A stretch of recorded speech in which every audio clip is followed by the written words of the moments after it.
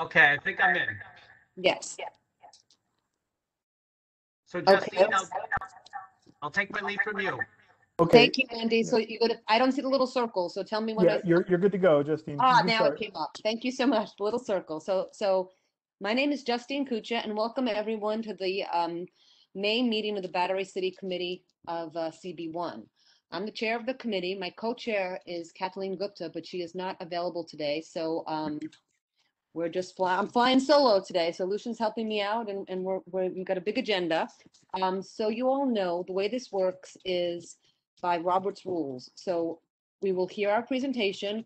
Questions will be able to be asked first by the board members, then by the public. So if you're here and you um, are a member of the public, raise your hand. Board members, I will, if you put your cameras on and wave at me, I may see you, but I, I will be looking for your hand raised in the little Zoom chat or Teams or meetings, whatever this is, WebEx.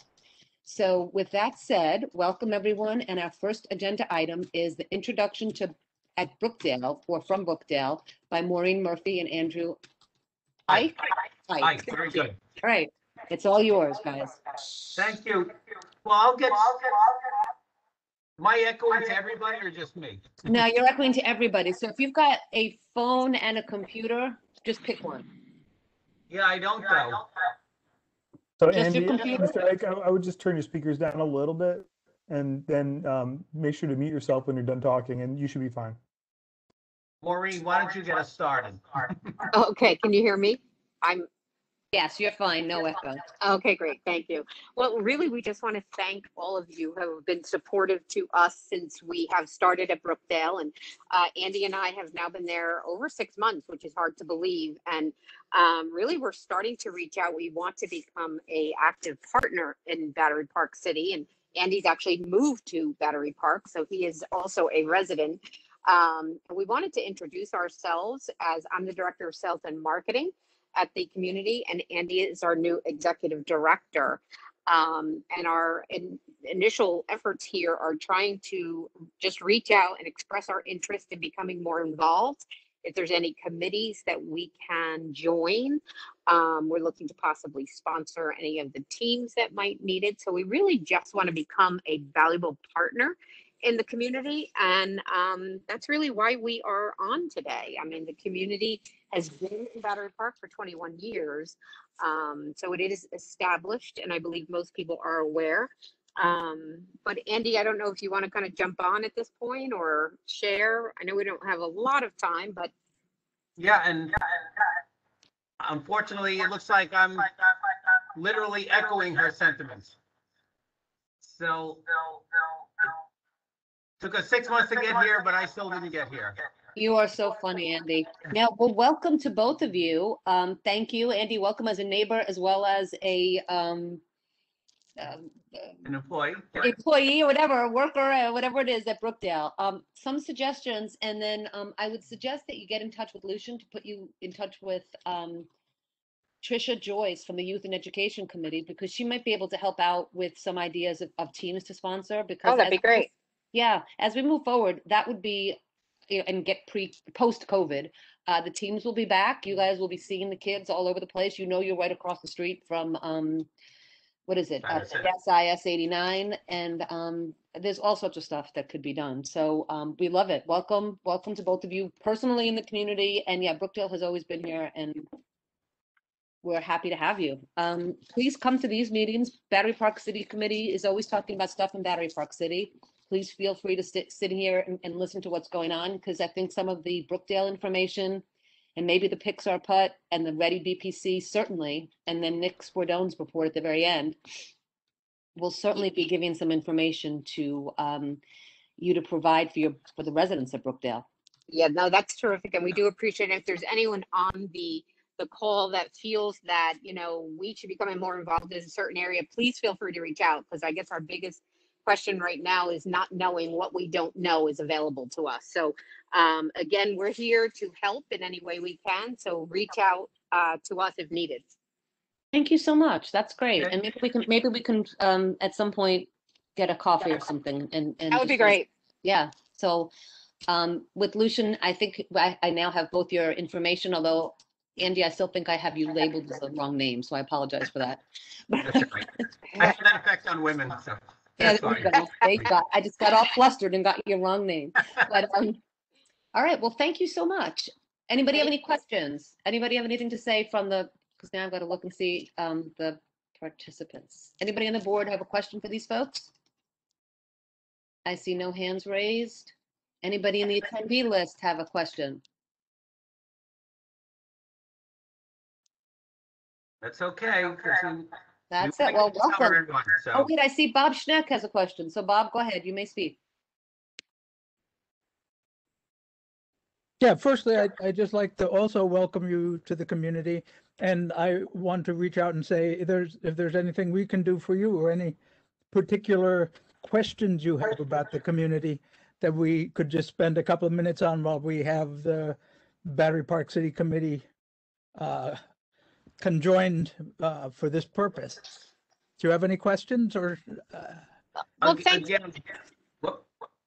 Go ahead, Mo. Uh, thanks, Bob. I mean, I guess our biggest is just you directing us as to how we can become helpful. Um, I know some of the things we had kicked around and Lucian has been great and Nick has been great. And, um, some of the things, as like we said, we sponsoring a team, maybe, you, you know, doing some type of blood drive in conjunction, because it looks like Battery Park does that on a regular basis.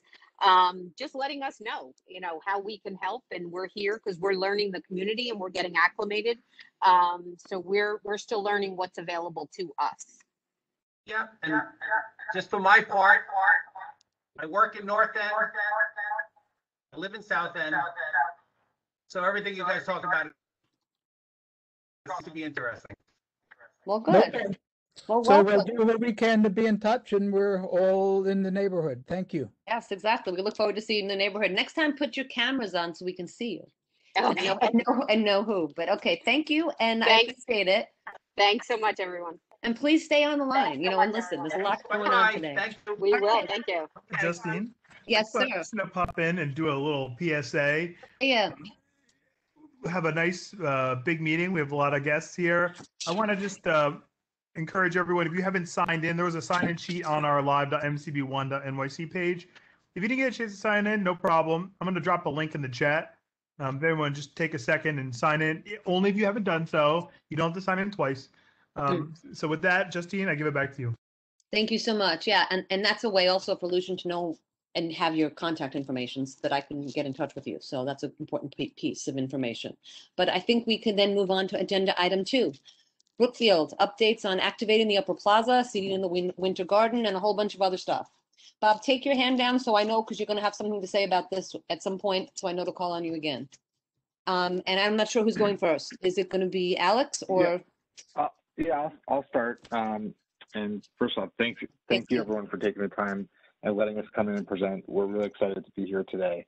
Um, so I think before we start, I just would in, introduce our team and the Skylight team. So it's myself with Brookfield, Alex Lucio, and my colleague Lisa Martin, who looks after all of our arts and events programming. And then with Skylight, we have Stephanie Blake, who's their C- CEO, uh, Chelsea Mullen, Grace Bunn, and Danielle Park. Um, so just to kick it off, and then I'll turn it over to Stephanie. I think as we as we all look to really responsibly move beyond this unprecedented period that we've all been in, and really into the Roaring Twenties, um, our team at Brookfield has been giving a lot of thought to how we could really create an enhanced experience um, on the plaza this summer. And really, what we're going to focus on today is the Upper Plaza, um, an experience that is really both safe and special. Um, so, given all the positive momentum with vaccines and, uh, and the anticipated near-term return to work, which it seems we keep getting closer and closer to, um, which will bring New Yorkers back to the city. The, for those who have left the city, um, we've decided to partner with Skylight Studios to launch a whole series of activations and programming at Brookfield Place over the next year. Um, so what we're here to present tonight is really the first of those activations.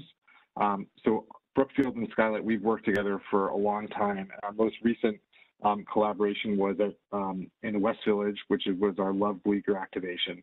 Uh, was really well received. We really transformed Bleecker Street over um, over a period of time, and it was it was really just a great experience overall. So that's what we're looking to bring to Brookfield Place as well with Skylight. So today we're going to present uh, a conceptual overview of a concept that is called bungalow, um, and we're going to look to introduce this on the Upper Plaza starting really right before July 4th. We presented this to Nick and the BPCA team last month. Um, and you know tonight we're going to present it to you, and we're looking forward to hearing everyone's feedback, answering questions, um, and really, and over the rest of the spring, we're working to finalize all the design elements. So what we're going to show you today is conceptual with you know programming schedule and then some initial design concepts, but this is still being worked through. So the last thing I'd say is before turning over to Stephanie is, you know, we're we're investing a significant amount of money into this activation um, because we really strongly believe that this is going to be a great benefit to the entire Battery Park City community and really for all New Yorkers as we look to really help the city bounce back from the pandemic stronger than ever. So with that, I'm happy to turn it over to Stephanie and um, we'll get through this presentation quickly and then we'll leave time for questions as well. Excellent. Thank you so much, Alex. Welcome, Stephanie. Please, you've got the floor. Thanks, Alex. Thanks, Justine. Happy to to be here. I think, you know, really just introduce the concept. I think, you know, one of the things that we recognize, and actually was prior to um, to moving, but I was a Battery Park City resident for for four years, so I'm very familiar with the neighborhood and the waterfront. And I think one thing that interested us most coming to work with Brookfield on this was how do we celebrate the waterfront, particularly at a time coming out of COVID when people are starved, particularly in the city, for that sort of beautiful environment that feels like a bit of a respite, but also happens to be, you know, at the point of so many different incredible, you know, restaurants and local businesses, et cetera. So a lot of the genesis of this is truly for the community in a way that whether you're a daily user or a visitor, monthly or weekly, that you have a place that feels like part of the larger New York City resilience campaign. Like everyone agrees and is very much aware of the city coming back in a safe way. And I think this is a really unique opportunity to honor what Battery Park City has to offer at the waterfront and, and do it in a way that's both safe and in conjunction with how everyone from, you know, government to a lot of the local organizations, including Battery Park City Authority, are trying to foster that sense of you know celebration of we can come back together the target date for opening this is july 1st so in line with the city sort of really reopening. And I think a lot of what you'll see that Grace and, and Chelsea will talk you through is just a way of being able to celebrate this. I think it's a long time in coming, this being a worldwide pandemic, but obviously cities being hurt or hit the most. I think it's a wonderful way to provide sort of that extra additional energy and spirit to bring bring to downtown. Um, and really it's based in, in the bungalow concept, referencing sort of the waterfront sort of beach theme. Um, and I think I'll, I'll tee it over to, to Chelsea and, and Grace to sort of take you through the specifics. Yeah, thank you, Stephanie. Um, we're very excited about this, as Stephanie mentioned, and Alex as well. We are really excited to take this waterfront and really emphasize its presence. And you know the lives of the people who are in the community or just new yorkers who are always seeking out new ways to explore the city and sort of take in the public spaces that are available. We're really focusing on reimagining the upper plaza at brookfield place as a seating and dining environment that will be layered in with weekly programs that really encourage people to come to sit and stay and gather in you know a safe way as Stephanie mentioned, it really is a space that we hope can serve as a respite and just a great place that can be really welcoming New Yorkers back into their routines, knowing sort of where Battery Park um, City sits at the center of so many of these sort of, you know, daily and weekly routines for New Yorkers and just creating this beautiful environment. Uh, and so here are some of our inspirational reference images. Again, we really want to sort of evoke something that feels very seaside to emphasize that waterfront identity. Uh, we really have thought about ways that it can be this almost daycation feel for New Yorkers where they can, you know, happen upon something that's unexpected and welcoming and and very you know familiar to people who have spent their summers on the east coast and in the new york area um, and provide that space again where they feel encouraged to safely gather, to come together after we've all spent so much time apart. Um, we also do see this designed as a place that's ideal for both, you know, groups who want to be gathering as well as, you know, individuals. We really see it as a place that is a natural fit to take food away from the restaurant vendors who are on site at Brookfield Place or within this larger district uh, where they can bring that food back and really, again, be, you know, patronizing the local businesses and have a place to really enjoy those fairs. Um, and as we've mentioned, we really just want to emphasize, you know, the importance of the waterfront here. You know, there are very few spaces in New York that I think have this sort of sunset waterfront opportunity where people can dwell and be, you know, immersed in public space and take in this and overlooking the marina. It's just such a wonderful opportunity. Uh, and we want to lean into this and celebrate that as much as possible. And so I will turn it over to Grace on my team to walk you through the specific elements um, of how this comes to life. So Grace, as you're Cool. talking, Thank give you, me, Chelsea. give me a clear idea. No, no, you're welcome. And, and welcome, Grace. Give me an idea of where you mean for all this stuff, because as you're talking, oh, there you go. Absolutely, Perfect. that's a Thank you. great, great question. That- So we actually pulled That's- in, that's you know, the yeah. pre-approved or um, sort of the pre-existing um, site plan that you guys, you know, I'm sure recognize from the Upper Plaza.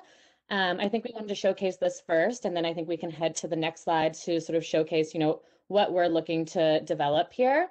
I think as Chelsea mentioned, you know, we are bringing in, you know, a couple of different, you know, seating elements again to sort of encourage people to um, you know, hang out, you know, have a drink, bring, you know, lunch and, and take meetings, you know, really, you know, providing sort of that community aspect. I think the other pieces that we're bringing in here that you'll see are sort of, you know, uh, you know, two bocce courts again that'll be, you know, totally open to the public. We really want to encourage people to gather here.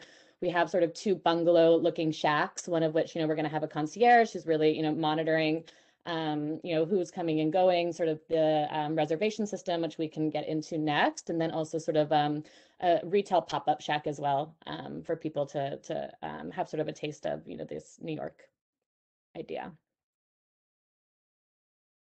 Um, and then, you know, exactly what these seating elements will look like, again, are sort of, you know, somewhat in flux, but again, I think, you know, we have an idea of, you know, some of these cafe tables, we want to bring in, you know, picnic tables, again, sort of encouraging, you know, different numbers of groups.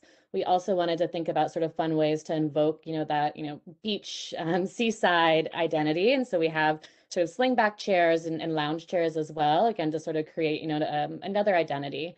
Um, and so right now what we're looking at, you know, based off of sort of the six foot distance seating, we have seating up to 108 um, people. You know, I think our goal here would be to increase that depending on how, you know, COVID um, safety protocols go. But I think we really want to be, you know, really thoughtful as we sort of approach this initially. And then hopefully as, you know, New York starts to open up, then we can sort of scale that up. Um, so in addition to the seating elements, I think we also wanted to provide, you know, some um, different images of, you know, what you could expect to be there. Again, these are all meant to be sort of, you know, installations or designs to help invoke, you know, this sort of beach feel. Um, so in addition to sort of the two bocce courts that we are building, there's going to be, you know, some bistro lighting, you know, we're curating a couple of playlists, um, you know, all ambient to sort of help set the, you know, tone of, of what people are walking into. And then we have a couple of other, you know, really site specific, you know, um, beach installations. So, you know, whether that's beach flag, you know, surfboard installations, et cetera, I think really to help, you know, again, sort of drive home um, what this activation is and, and sort of transport people. Um, additional site elements too, I think really want to call out, you know, the bungalows themselves. Um, we have the dimensions here. In addition to that, you know, we are looking to sort of dress those up too. Again, I think to, you know, really, you know, make these seem really beautiful. I think really sort of, you know, I think the other thing is, you know, we really want to celebrate, you know, New York and, and sort of the local um, fauna that you'll find, you know, on Long Island and, and sort of throughout the region. So there's going to be hydrangea garlands um, and, you know, some strung wicker lamps, um, as well as, you know, just some other, um, you know, fun visual elements as well. But this is generally, you know, what these bungalows will look like that you'll see. Um, we're also being, you know, very thoughtful too in terms of, you know, the weighting as well and working directly, you know, with our um, architect and engineers to make sure that, you know, we are really satisfying the weight and wind ratings um, on the upper plaza. Um, and then driving into sort of, you know, the daily operations, um, you know, we have sort of our requested load in, load out dates. Um, as Stephanie and Alex mentioned, we're looking to launch, you know, at the beginning of July, really in line with sort of, you know, New York opening back up. Um, so really the days that we're looking to be active would be, you know, July 2nd through September 26th. Um, and each day, you know, we are planning to be open, you know, seven days a week. I think, you know, based off of, you know, the daily, you know, operation schedules, you know, we're looking to sort of set up, um, you know, in the morning to be open by 11 and then, you know, by 9 p.m., um, you know, stay open. I think, you know, there's going to be the food um, service through Tartinery. Um, we also are going to encourage, you know, patrons to, you know, um, get their meals through, you know, Hudson Eats, the virtual food hall. Again, I think really celebrating everything that's existing within the complex. Um, and then we will be breaking down by 9 p.m. every night.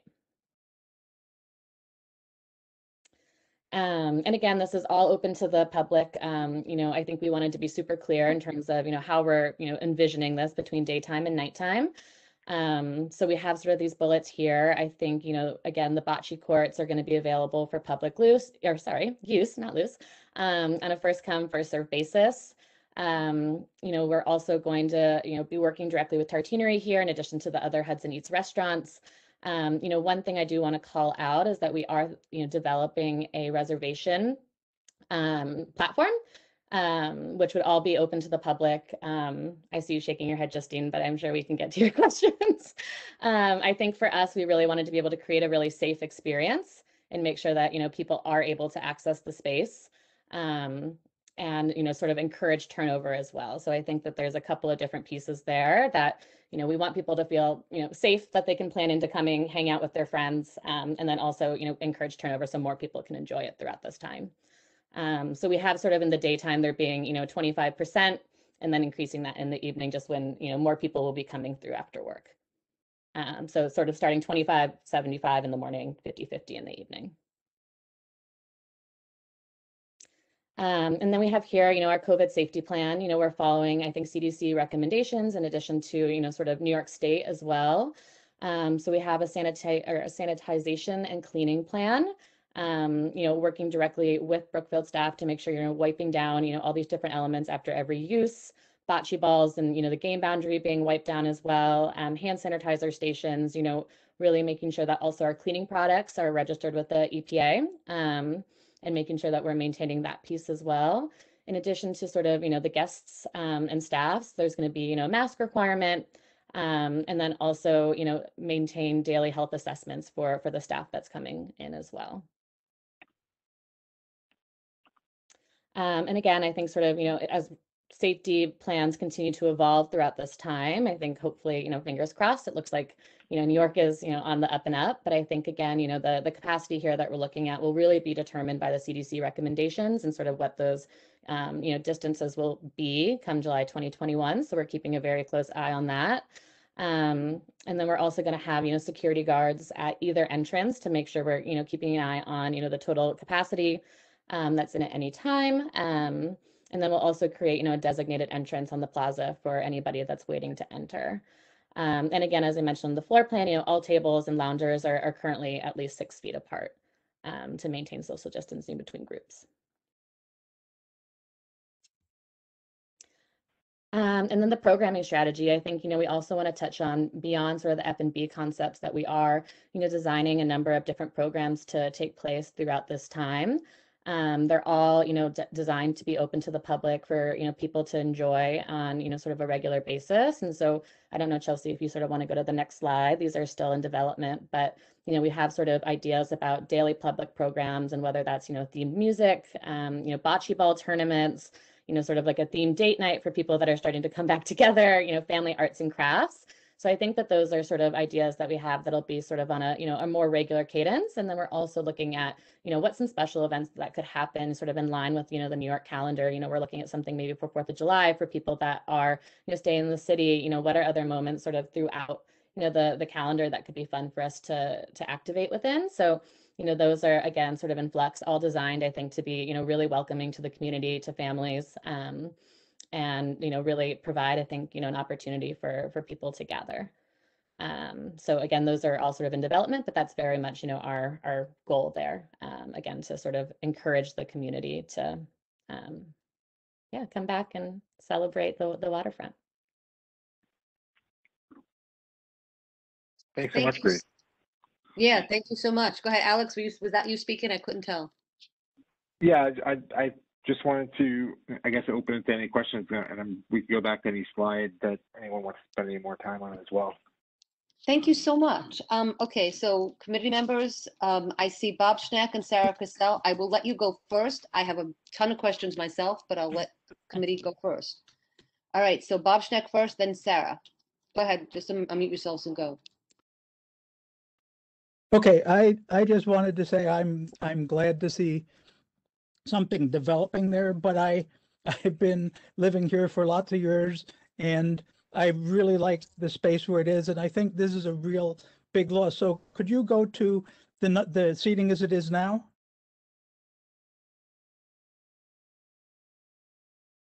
So you notice there's lots of, lots of seating and lots of places to relax uh, for everybody. And then when we go to the planned uh, design, I was wondering, what is the shack, for example?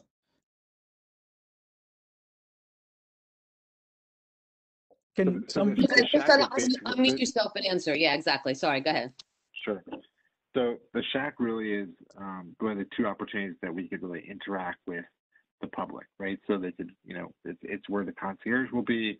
Um, you know, it, it it's kind of the opportunity that we could really connect with everyone. Um, they could come up, they could, you know, get, for example, get the bocce balls, things like that. Um, it doesn't take, as you can see, it doesn't take up that much room. These aren't massive structures. It's just, um, you know, it's, it's, we just felt there was an important part to be able to, you know, oversee everything that's going on in the plaza, given that we're going to have more programming, et cetera. I just wanted to say, I, I really think that the, the two things, one is that there's a huge loss of, lots of times I come around there looking for spaces and I can't find any, and that's the way it is now. And so once these things get installed, uh, shack number one, shack number two, and the two bocce courts, courts, plus the performance area, uh, there's really not too much space for the public to hang out. And when there's events in that activation area, there's nowhere even for people to stand. So I, just as a suggestion, Well, the, the, would, would there's also- possibly move there's- those bocce court, courts into the winter garden and into the lower plaza, just because Um, I, I think Justina probably agree with me that, that once you have so few seats and once you have to have reservations to go to visit them, it's a, a huge loss, at least for me and for o- lots of people who've been working there over the last few months. And, and I go to lots of events at, say, Wagner Park, and that little space around the performance area is way insufficient for if you actually have crowds of kids like we often do inside the winter garden. So those are some initial concerns. I think um, that uh, for a long time, I've wanted to have coffee available all day rather than alcoholic kinds of things. So if we move some chairs, if we kind of moved a little pastry something onto the lower, uh, onto the lower plaza, and people could sit out there and enjoy just being there, kind of like in Europe, I think that would, would be, uh, I think that would be a good and valuable thing. And my final, those are suggestions. My final question is whose program is this? Is this Brookdale's or some, is Hudson Eats? Brookfield, but yeah, go ahead. Brookfield? Uh, so. all um, Brookfield. It's all So- Brookfield. Do we have, as a community board, much input into how this works?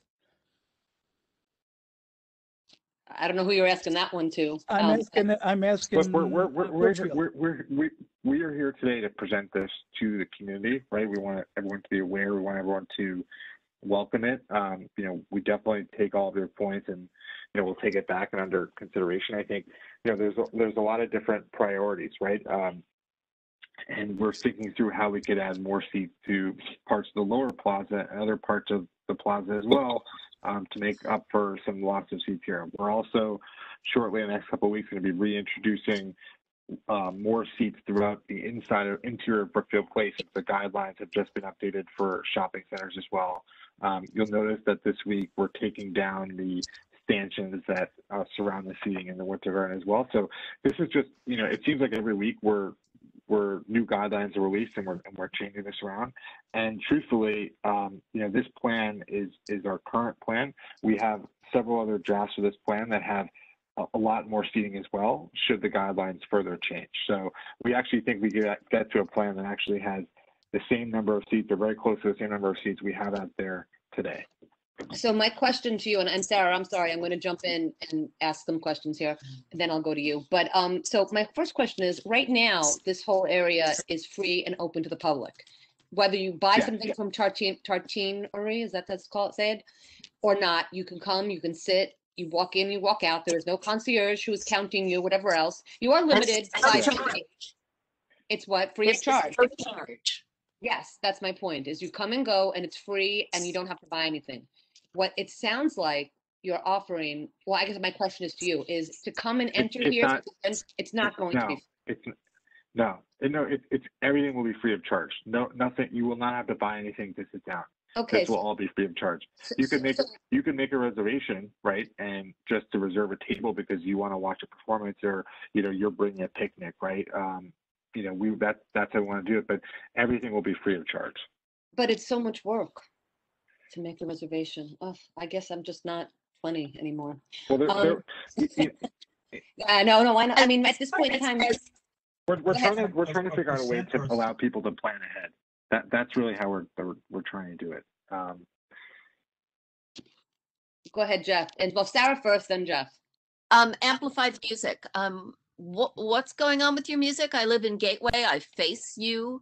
Um, I don't know if you actually know the area here, but, um, inside Gateway and actually on several of the other large buildings just north of your site, um, music is amplified and echoes. And there are lots of kids and lots of elderly people, and we have a lot of concerns about noise. Um, right. do you want to go into that? Sure. Um, I would say that, you know, the, the music will be consistent um, with, you know, previous seasons and, you know, our plans for programming and music will be submitted to BPCA for our permitting. So, you know, all the information will be there. Is this, is this going to be a plaza where we're going to be having concerts into the wee hours in the morning? Absolutely not. Um, is this a place where, you know, there's going to be some music, you know, a little bit after work? Yes. Um, again, but if there's issues, um, you know, you have my cell phone number, you have our colleagues' cell phone numbers. If, if there's ever any issues, don't hesitate to reach out. We, we, we're here. and- We don't want to cause issues. Just to be, just to be absolutely clear, all of you are Brookfield employees, correct? No, myself, Alex, and my colleague Elisa, who's our head of arts events, work for Brookfield. We've partnered with, with a company called Skylight Studios um, to basically How does carry out Skylight and produce Studios this event. How do they make money, Skylight Studios, as part of this plan? We, we, we pay them separately. They're not the Okay. concessioners that are within here, but they are the No, people no, who are no, no, making, no. this- putting this together. They're- They, they are they're- the planners. They're, for a, pro- they're a production partner. Yeah. We're, we're doing this not, we're not doing this to make money. We're doing this because we're trying to bring people back to Brookfield Place and to make it a very special outdoor experience, given, you know, that indoors is, is a bit, you know, has been a bit out of favor. So we're trying to rethink how we've, um, you know, planned for the outdoor plaza. And rather than just having the metal tables and chairs, we, we felt that this would be a great time to create a special experience that has fun, that has programming, that has some music during the day, especially as people come back to work. So that's what we're looking to really produce. For the, for the local people who will just wander by and maybe, you know, maybe we get a drink at Tartinery and we sit down or we go down and sit at the other tables. Is that still gonna happen? Will they, will they still let us in to do that? Or But do you, there's- I, I, I, I want to clarify, this will be just like it is today. Anyone can walk in, anyone can sit down. There's no, there's no exclusivity whatsoever. okay, because it sounds like you're counting people. Yeah, well, that might be for COVID for the moment, but Right. For the moment, we, we have to. what I would like to ask or, or point out, and um, we'll get to that in a minute, and then I'll let Jeff speak, is that currently in the Winter Garden, as, as recently as last weekend, I think last Saturday, Saturday or Friday, I forget, we were, I was out on the Winter Garden area, right in this space right here, and went in to Mhm. try to, to go to use Lily's room, inside and it was evening time. Two comments. One is the sound of the music. There's there's like speakers there. I have no idea if it's bothering people in Gateway, but it was very loud at the table. We hear it. You oh well, you could hear it inside. Okay. I mean outside I thought it was it was it was loud enough that it was like you're at a bar. I would have preferred to be able to turn it down. The music was fine. I liked the songs. I liked the music. It just was annoying to be outside and it be blasted and have to be screaming to be heard at a table. But that's one piece of it. But the other side of it was inside the Winter Garden itself. The stairs were blocked off. The there was an area where blocked any kind of seating around the um palm trees was blocked off. And I asked a- a guard that was there if um anybody can go sit down there. And they said, no, you need to show me a receipt. And I said, a receipt from where?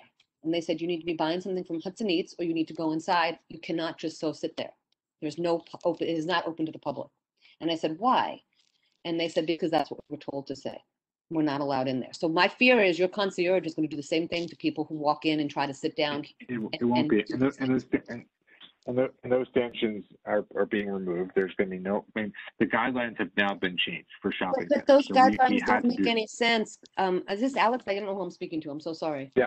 Alex, Yeah. okay, sorry. But those guidelines made sense to control the number of people who were going to sit inside, but not the, um, whether they were paying customers of Brookfield or, or, you know, Right. um, Brookfield Place, not Brookfield, you personally, um, or public I just think- walking through. want, I'm happy, do we want to focus on the winter garden or do we want to focus on the? No, park? I'm just throwing that I'm out happy to focus on both, yeah. Yeah, both. My, my answer is that they intersect because what happens inside it, it's the same guards. It's the same people, it's the same entity that's telling them what to do. And my concern is, I hear you loud and clear that anybody could walk through and sit down.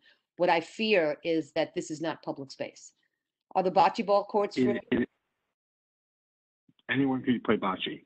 So you've got to go to the concierge, and that makes sense. You've got to control people, and I certainly respect controlling um the flow of people and the number of people in the time of COVID. That is a legitimate concern, and that makes so much sense. I also um like the idea of trying to get and encourage people to come down and get the businesses going. Uh, This has just been a really horrible time with COVID for businesses, for everything else. So so this is a plus in that regard, but it, seems like it's taking away a lot of public space. Because without it's having a it's all phone public number on space. So- So we're not, we're we're not taking any, any public space away. It's all public space. mm, okay, Jeff, go ahead, you may go. Uh, I think if they went to the slide that shows uh, how you book a place, people would be relieved. If you look at that carefully, as I did when we were giving the presentation. If you look right here, the third bullet under evening, Hudson Eats restaurants available to virtual food hall platform or BYO. That means you can bring your own food. Fifty percent of the seats are available first come, first serve. And you walk up, it sounds like to me, you guys want to clarify that? Fifty percent you reserve ahead of time, which in the age of COVID is rather useful to. and helpful. Is, is that accurate? That's correct, hundred percent. And then if you go to the daytime, twenty-five percent, only twenty-five percent are reserved ahead of time with ninety-minute seating limits, so it's guaranteed rotation so people can come and go. And seventy-five percent, you walk up first come, first serve. So I think these concerns about it becoming closed off to the public, to me, I mean, to me, in my opinion, that space is um, anything you can do to make that space better. I'm behind because there's something about that space that I just find very antiseptic 80s mall culture Hmm. um, and kind of hot and visually unattractive. And so to do something to make it look nicer to me is great. I don't see it as a loss at all. I'm not with the other members of the committee on this one. There's plenty of other places to sit and benches and- and tables in the shade to the left and right of that, uh, and other places all around our neighborhood. And that to me is a very hot kind of rough spot where it is. So if there's going to be umbrellas and, and other things like showing on the map and activities to do, to me, it's a net gain. And I, I understand the committee's concerns because there has been issues with Brookfield in the past, Mhm. But I feel like we need to look at the details and the details don't bear out the fears, in my opinion. Thank you, And Jeff. Je- We appreciate your support.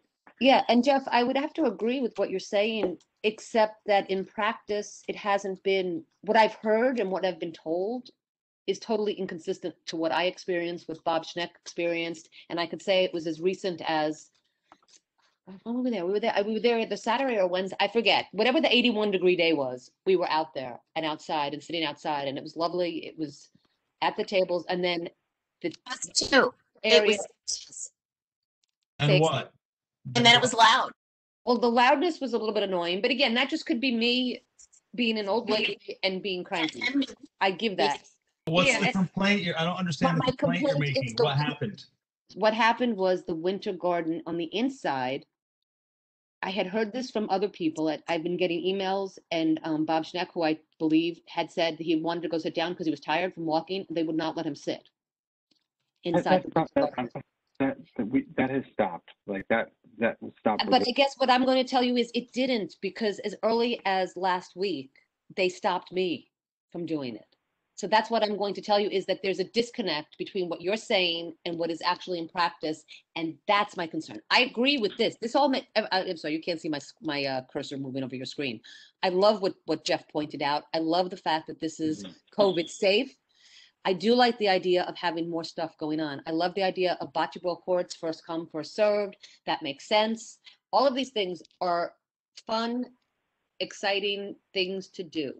As long as it's open don't- why to the public as much as it's open to everybody Right. else. I guess my cons- biggest Right. concern is So- I would like a guarantee and then have someone who I can call in the moment when I'm told they're being blocked from going in. That's all I'm saying. If they're not Yeah, blocked, that's fine. could- No, no one will be blocked. They could, they could call me.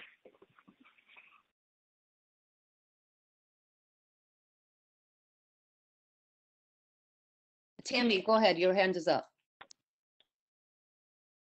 Hi, Alex, and thank you, everybody, for a delightful presentation. I think, um, listening to what everybody's saying, I wondered whether or not there is, I know that Resy is a app, but not everybody has the app. So will there be a kiosk or concourse or something that's available right there for someone to be able to walk up because tourists won't know necessarily?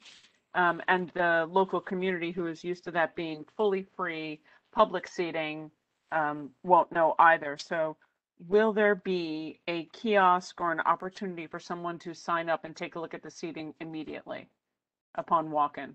So, so they could, so they could either walk up and sit at one of the open seats that's available on a first come, first service basis.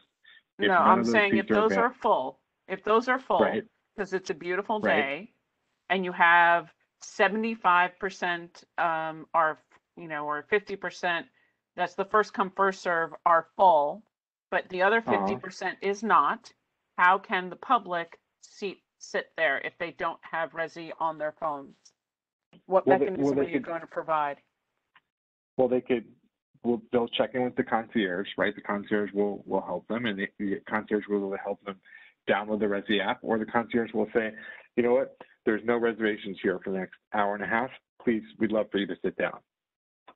So they will be able to sit without having, I want to, I want to bridge the gap of those that don't, you know, may not have the Resy app, those who do not want to download a Resy app, those who want to be able to just walk up and sit down, that if there's a seat there, and is there, for example, is there a cutoff? So if you have a four o'clock reservation, but it's four fifteen or four thirty and you have not shown up, do you lose your seat and it goes back to the public realm? You know, there's typically a 15 minute grace period on these sorts of things. I think anyone that's visited the restaurant uh, is pretty aware. If you show up 40 minutes late, you know, there's obviously no guarantee that your table is going to be held. So I think we'll look to kind of, uh, you know, maintain that 15 minute grace period. And the seating last year that you had that was down on the lower level, that was over closest to the marina, will that be reinstated as free public outdoor seating with the umbrellas again? Yes, all, all of, uh, we're, we're looking to have as many seats outside as possible, given the six foot, um, you know, dif- distances between the tables. Yeah, they were there last summer. I'm sure that that's a great add to them back. And then with um, your Skylight partners, what kind of connections are they going to be doing with the large venue that's currently under their purview that's at the exchange at Vesey Street? Will any of these spaces be sold in connection with that? No, th- then that's separate. There, that, that arrangement they have at, at 300 Vesey Street is with, um, Mhm. is not with Brookfield. That's with a different company. But the outside space links all of it, which is why I'm asking. Is there a potential for them to? I- Again, I, we're, use it Brookfield is for not events. involved with whatever they're doing at 300 Vesey Street. We're not involved with that. Okay. So I ca- I can't, I can't speak to that. I know you can't, but the skylight people are on. That's why I'm asking. So I This think, is you an know, for opportunity now, And it- to- you know, what I will say about the, uh, the three hundred Vesey space is that, um, that is, you know, in conjunction with the Van, Gogh- I'm assuming you're speaking about the Van Gogh immersive exhibit, and I think that's something that's still sort of, so many details are being worked out there, and, and for now, it is a separate event with a totally different company. Obviously, it does share space, and I think that's a benefit to the community as well, that there's some, you know, open to the public, um, interesting things happening down there to draw people and, and as a service, but, um, yeah, for now they are they are separate. And for now, Skylight Studio, Skylight, I apologize, I don't know if you're Skylight Studios or whatever the case may be, is not looking to utilize this space as event space, correct? No, we're planning to keep this open to the This, this public space is, yeah, exactly. Okay. the whole time. So no, there wouldn't be like a, a takeover of that for a private event if that's what you're asking. Sorry, uh, yeah, I mean, it- they're just questions that I had to ask. Yeah, no, no, no. It's Those, better to ask those are good not. questions. And, and then the New York State has changed their rules in New York City in terms of outdoor mask wearing. And that it, it is not necessarily a requirement. Well, you did mention that masks would be required on the outside area. Is that going to be different because you're on private property and requiring that? Or will that not be? In the roped we, we're gonna, we're gonna, I, I think this is honestly changing on a daily basis. So, Yeah. you know, this deck was prepared, um, before that new CDC guideline came out. Um, so it's, it's Okay. really tough to say at this point, but I would say that whatever, whatever we do will be consistent with the guideline. July And there feels like would- a, a long time away. Yeah. Perfect. And then I just, I know it, it seems like it changes overnight, so I'm sure that this deck would look incredibly different by Friday Yeah. um, these days. Um, then the last question I had is, you're talking about prog- programmatic music. How does the programmatic music for that space gel with the music that goes on at the district and the outdoor space that they have? Because in the past couple weeks, they've had some live people out there, they've had pumped out music. And what is the connection or disconnect, I, I might think, for the clashing of the music sound systems between the two? Um, they're they're not connected in the sense that Le District is not involved with this um, activation aside from the ability to you know if you're sitting down at one of these tables be able to order food from Le District. That's the only connection. Um, you know I think it's really on us and our security and production team to kind of make sure that there's not a clashing of sound systems. So if there's music coming from Le District that's you know overpowering what we're trying to do here or vice versa, I think it's on us to make sure that that's not an issue. Awesome. Thank you very much. It's going to be an exciting summer over at Brookfield. I'm looking forward to seeing it. Thanks, Tammy. Thank you, Tammy. We appreciate it. And thanks you, thanks to everybody for pre- presenting this and for your forward thinking um, on bringing life back to Battery Park City and Brookfield Space Place and the, in the Marina area, because it's been really sad 14 months or 15 months, whatever it's been. So thank you for that. Um, please don't um, interpret the questions and the comments as um, rejecting this plan. It's just that we want parameters on it. And, and if there is an issue, um, we'd like to be able to have a way to address it in real time. So that's my biggest point. So thank you. Alex, for, for being willing Yep, to of give your phone course. number. And yeah, I, I, it's just, this way there's a way for us to work together. And one more point, and then we could, um, move on to the next thing and that's got, that's on the agenda, um, is I noticed pictures of the tennis courts and I remember seeing the tennis court that was set up on the, um, I guess it was the lower plaza. I don't know where it was, whether it was up or lower, but I Yep, love the lower. tennis courts.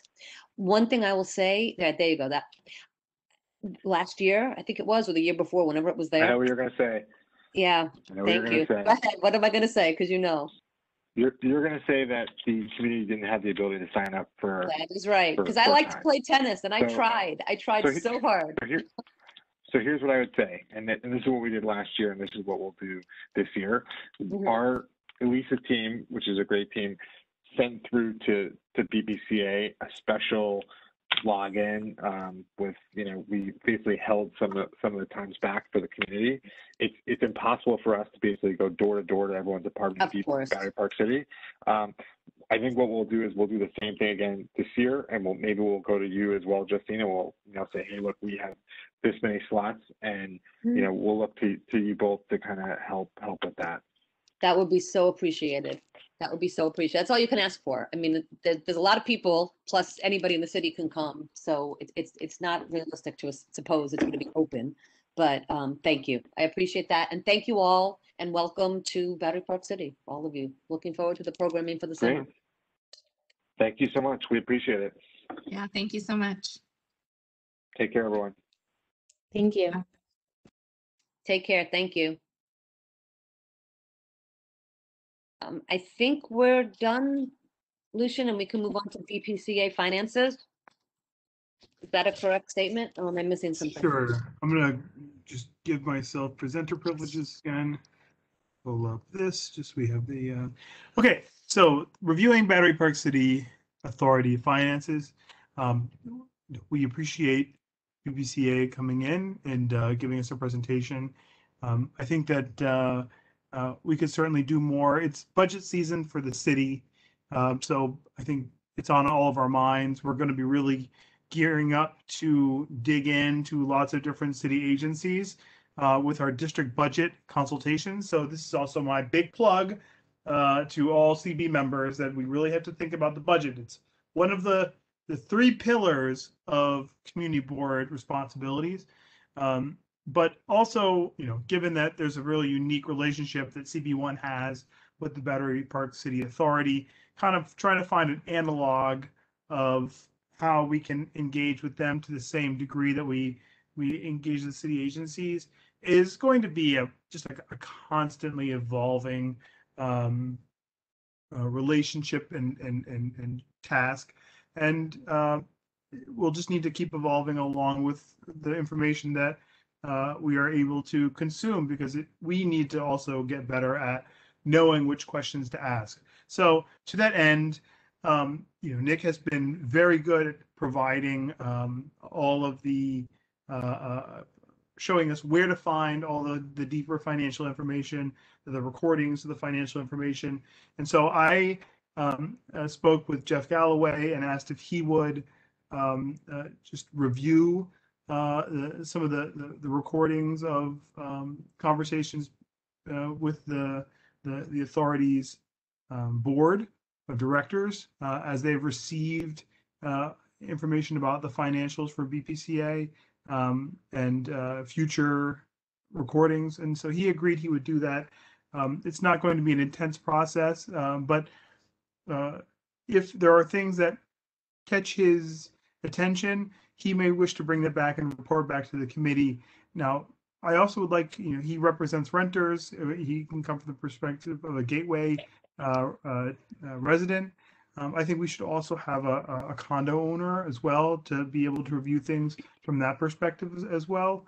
Um, so I would love to hear if there's any members of this committee who would uh, volunteer to also review some of these materials. It's we're not looking to make this an intense uh, thing. You don't have to write a report, but just to to see if you know, there's anything evocative um, within uh, the content that you see that you want to wish to, you wish to share back with the committee. Is there any anyone else? Yeah, I, I would ask that it be somebody other than me because I have my opinions, as everybody knows. I'm not afraid to share them. So I would love a fresh perspective. And I know we do have some condo owners on this board, you know, our little board here. Um, so I would love to have somebody, if they would volunteer, that would be great. I see Betty's hand up. Raise your hand. Betty, speak. No, I'd be willing to do that because it represents the north side as well as condo owners. Excellent. I think that's a great idea. I appreciate you volunteering, Betty. Yeah, no, I do appreciate it. Um, and yeah, that makes it, that's wonderful. And maybe next month we can have a conversation that kind of goes into it deeply. And I'm also assuming that um, you are aware and everybody's aware of what's going on with the ground rent and, and people are informed. So at the end of the day, this is our lives now for both the renters and the um, condo owners in Battery Park City. And what happens down here in terms of affordability and sustainability all the way, it matters to each and every one of us. So thank you for taking on the job because it's not fun. It's not fun. It's not easy. So both of you, thank you very much. No, Thank you, but I've, I've spoken with the chair of my board of directors in my building, and he's an attorney who's been one of the driving forces on this anyway. So I, he is willing to speak with me about what their concerns are and what he has heard from the group. That's excellent and that is so I'll do that. helpful. I hope that he would come to the, you know, to these meetings when we're talking about this stuff too and, and speak because I think it's important to hear from the different boards. Um, I see Bob has his hand up. Go ahead, Bob. I just wanted to volunteer on the basis that you said that Betty's on the north side. I'm on the south side and I'm in the same building you're at. And Jeff is uh, in the rental building and we're in a condo. So I'm interested if Yeah, I'll take it. we could represent that. Plus, I've been involved with a lot of these issues for the better part of a decade. Anybody and everybody who wants to get involved in this, I love it. Um, the more people that are knowledgeable and inform themselves is so important and it brings a different perspective all the way through. So, yeah, so Betty, yes, I, I think it's fair, Bob, and Jeff, please, thank you so much. And Jeff, you're here, so You're welcome. reiterate that you're good and, and okay with this, because it's taken on, I'm fine with it, and I look forward to uh, coordinating with uh, uh, Bob and Betty. excellent, thank you so much. All right, so now perhaps we can talk about, um, oh geez, all right, so a resolution, which I'm hoping it in, in the mean, in the, between last meeting and this meeting, we had the lovely presentation put together by the Battery Park City Authority, lovely and informative, um, where they presented their 2020, um, financial picture. And uh, I know I also in, listened to much of, but not all of the um, the BPCA's presentation during the their actual BPCA board meeting, October, um, where they presented their um, finances. I didn't get the whole thing, but I did listen to much to much of it. So, um, in as a result of both of those things, I kind of put down a bunch of notes and put down a bunch of um,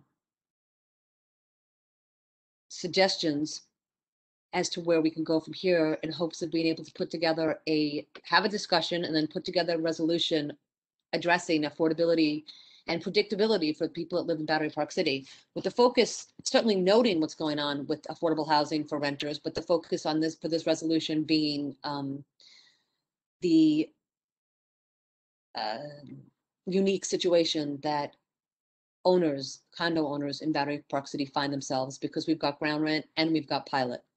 Um, Jeff, is your hand raised to say something now? If so, please speak.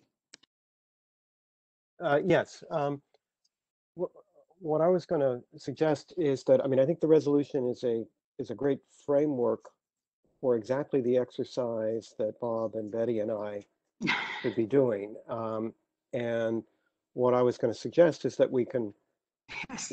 we can discuss a lot of these issues here, but maybe the resolution should await us reporting back maybe at the next meeting, um, being informed by whatever the discussion is today. I mean, as I was looking at the resolution, um, it, um, it, it looked to me, uh, I mean, one of my sort of overarching suggestions would be that we need to um, clearly express the problems that we are trying, that we want to solve uh, in, in, in this context. And as I translated what was written in the, in the draft, um, it, my interpretation was that the problems kind of uh, boil down to a handful of issues. Uh, one is that the uh, condo ownership costs attributable to ground rent and pilot are becoming uh, unsustainable, and they may threaten the ability of long-term residents to remain in Battery Park City. Um, a, a distinct but somewhat related problem is the uncertainty that the um, 2069 ground lease uh, termination, um, you know, causing negative impacts on marketability and value, and, and maybe even uh, financing in relation to the to the condos. Um, and then um, a, a- separate concern that the uh, surplus BPCA revenue is not being used for affordable housing purposes in Battery Park City.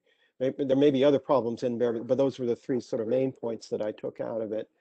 And um, uh, whatever we define the problems to be, I think the solutions need to be sort of carefully thought out and should take advantage of whatever work that Betty and Bob and I do in terms of looking into these uh, issues. And there are solutions that are being offered in the draft resolution um, that I, I think are certainly worth uh, uh, discussing. Um, but we may come up with something different based on the review uh, that we are uh, should be conducting. So those are sort of my overarching thoughts. I mean, I have specific things that I can say about specific points, but that's sort of my overarching. Well, that's perfect. No, thank you for that. Um, I- guess my feeling is yes, but certainly we need to have the discussion and we need to be able to um present an informed and thoughtful resolution going forward. But we're also faced with a time crunch, in my opinion. Um, every day that goes by is a problem for um, our condo owner residents in um, at River Terrace and Warren. What are they called? Matthew? River and Warren condominiums, because I believe their es- reset escalation clauses have already come due.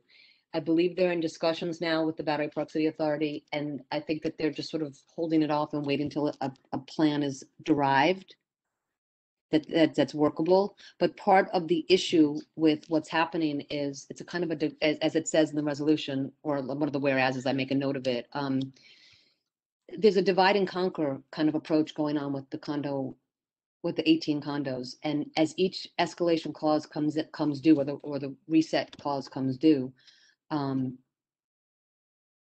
the deal that is made may benefit that apartment building, but without having the, the whole, all 18 addressed, it may not benefit everybody. And it may not be the best deal. And so part of the, part of the situation and frustration that I'm having is I don't want, I, I don't know. I, I think I have heard from many condo owners and many people that if they could possibly have it addressed as one, and if we can maybe get this done quickly, everybody would be better off because we would have Yeah. certainty. And, and so that's, yeah, that's I'm- balance. So yeah, at least, c- at least let's spend time today talking about it.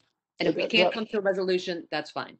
Uh, that was actually one of the points that uh, uh, the the the the business of having all 18 uh, being renegotiated at the same time.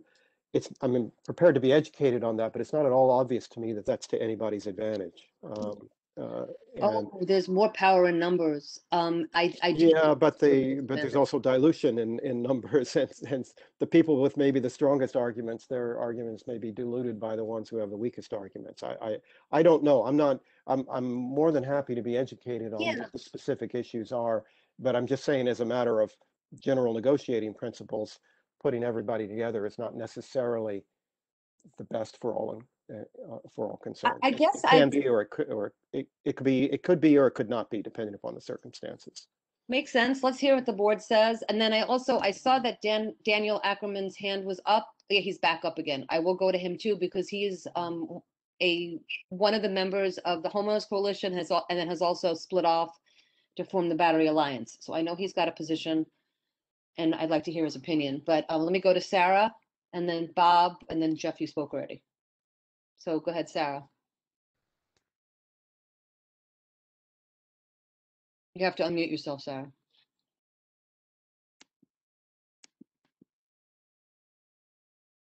Okay, let's jump Sarah and go to Bob.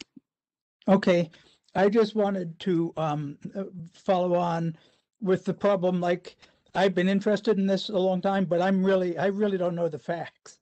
And I think one thing that a, a subcommittee could do is actually make a fact sheet of exactly where all this stuff is. So we know who's doing what, who's the head of them, make a contact list, find out what order and what dates things are happening, and put everything together in a way that makes sense and circulate that to all the members of our committee. Also, I'm, I've always been concerned about the affordability of rental units in this area too. And we have had in Community Board One, some very serious loss, losses of affordable rental housing. And we really, uh, since we really were talking about affordability, that should really be folded into this. And so one question just about the, the little subcommittee, and that is, uh, from your point of view, Justine, are we just looking at the issues of Battery Park City? Or are we looking at CB one issues? No, first, if I may, the first step would be focusing on the ground rent because I suppose I'm a little frustrated and I'm just going to vent myself, a but I don't understand how, with all the talking that's been going on and all the research that's been going into it, that, that Mm, I'm not say gonna say. There's a lot of information out there, and I think that you're right, and people need to understand what's happening. And I need to take a breath and allow that to happen. I guess I feel I know a lot about what's going on, and I, I've spent way too many hours and years delving into this. But um, it needs to come from a group perspective, and that's the whole point of a community board is to get the community involved. So I'm taking a breath and um, listening to you all. I would like I to. just wanted to make one Yeah, yeah, no, no. observation. Go ahead. And, and that is, I think I've learned that on the Upper East Side, there's a, a, a comparable leasehold problem that's happening. And that, um, people have been trying to sell their apartments for two or three years now and aren't even getting any nibbles. So that, that a- astoundingly important market in the city is completely frozen now. I, thi- that's just my impression, but that's one of the things I would like to research and bring back to our committee. Yes. there, are there things that are like this that are having real problems with sales and rentals and settling uh, adjustment fees? And do they have a, a ground zero 2069 that they're facing? Perhaps, maybe their ground zero is earlier than that, but I, I'm not even But aware I of just that. want to present all that as a fact. Fair. Um, I would like this to focus on ground rent. Now, what you just said, Bob, was relevant because what it will be lending color and information to the effect of not extending the 29, the, the, the ground lease or allowing things to fester. So it would, it would give us information and um, allow us to move forward based on that.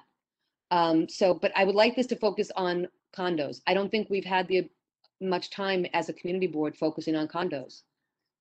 Um, I think we spend a lot of time focusing on affordability about rent. And that is a very important issue, and I want that to be discussed too. But I would like this, the, the three of you to focus specifically on ground rent.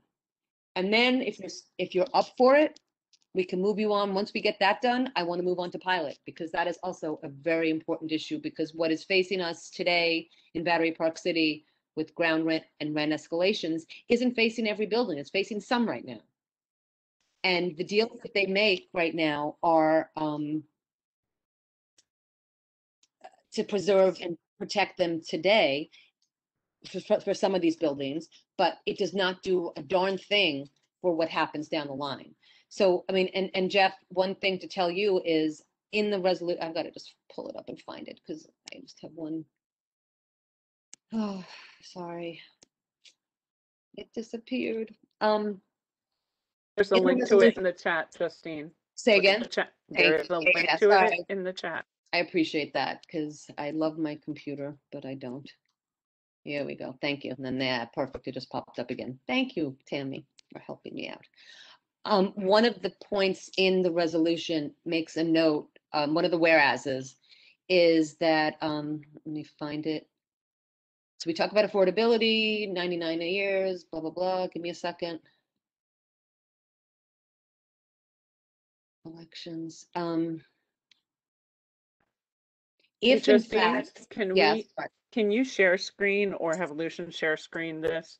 And Yeah, then that's a great see, you've got lots of hands up. I see Detta and Judy and oh, Bob and yes. Sarah. You have tons of hands up. It'd be let me really, let, yeah, let's let's go to them. let the and- committee speak. Perfect. I think that's a great idea. Thank you. And I have this up now. So Lucian, thank you. And then I believe that uh, Judith, go ahead, Judy, you speak.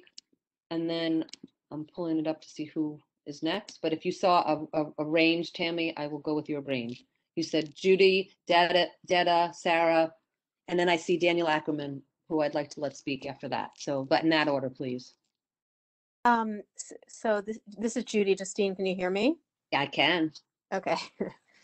Uh, you know, I, I am definitely in favor of passing this resolution. Um, there's no time like the present. We've been talking about these affordability issues for a long time. I strongly agree um, with Justine, your point about divide and conquer.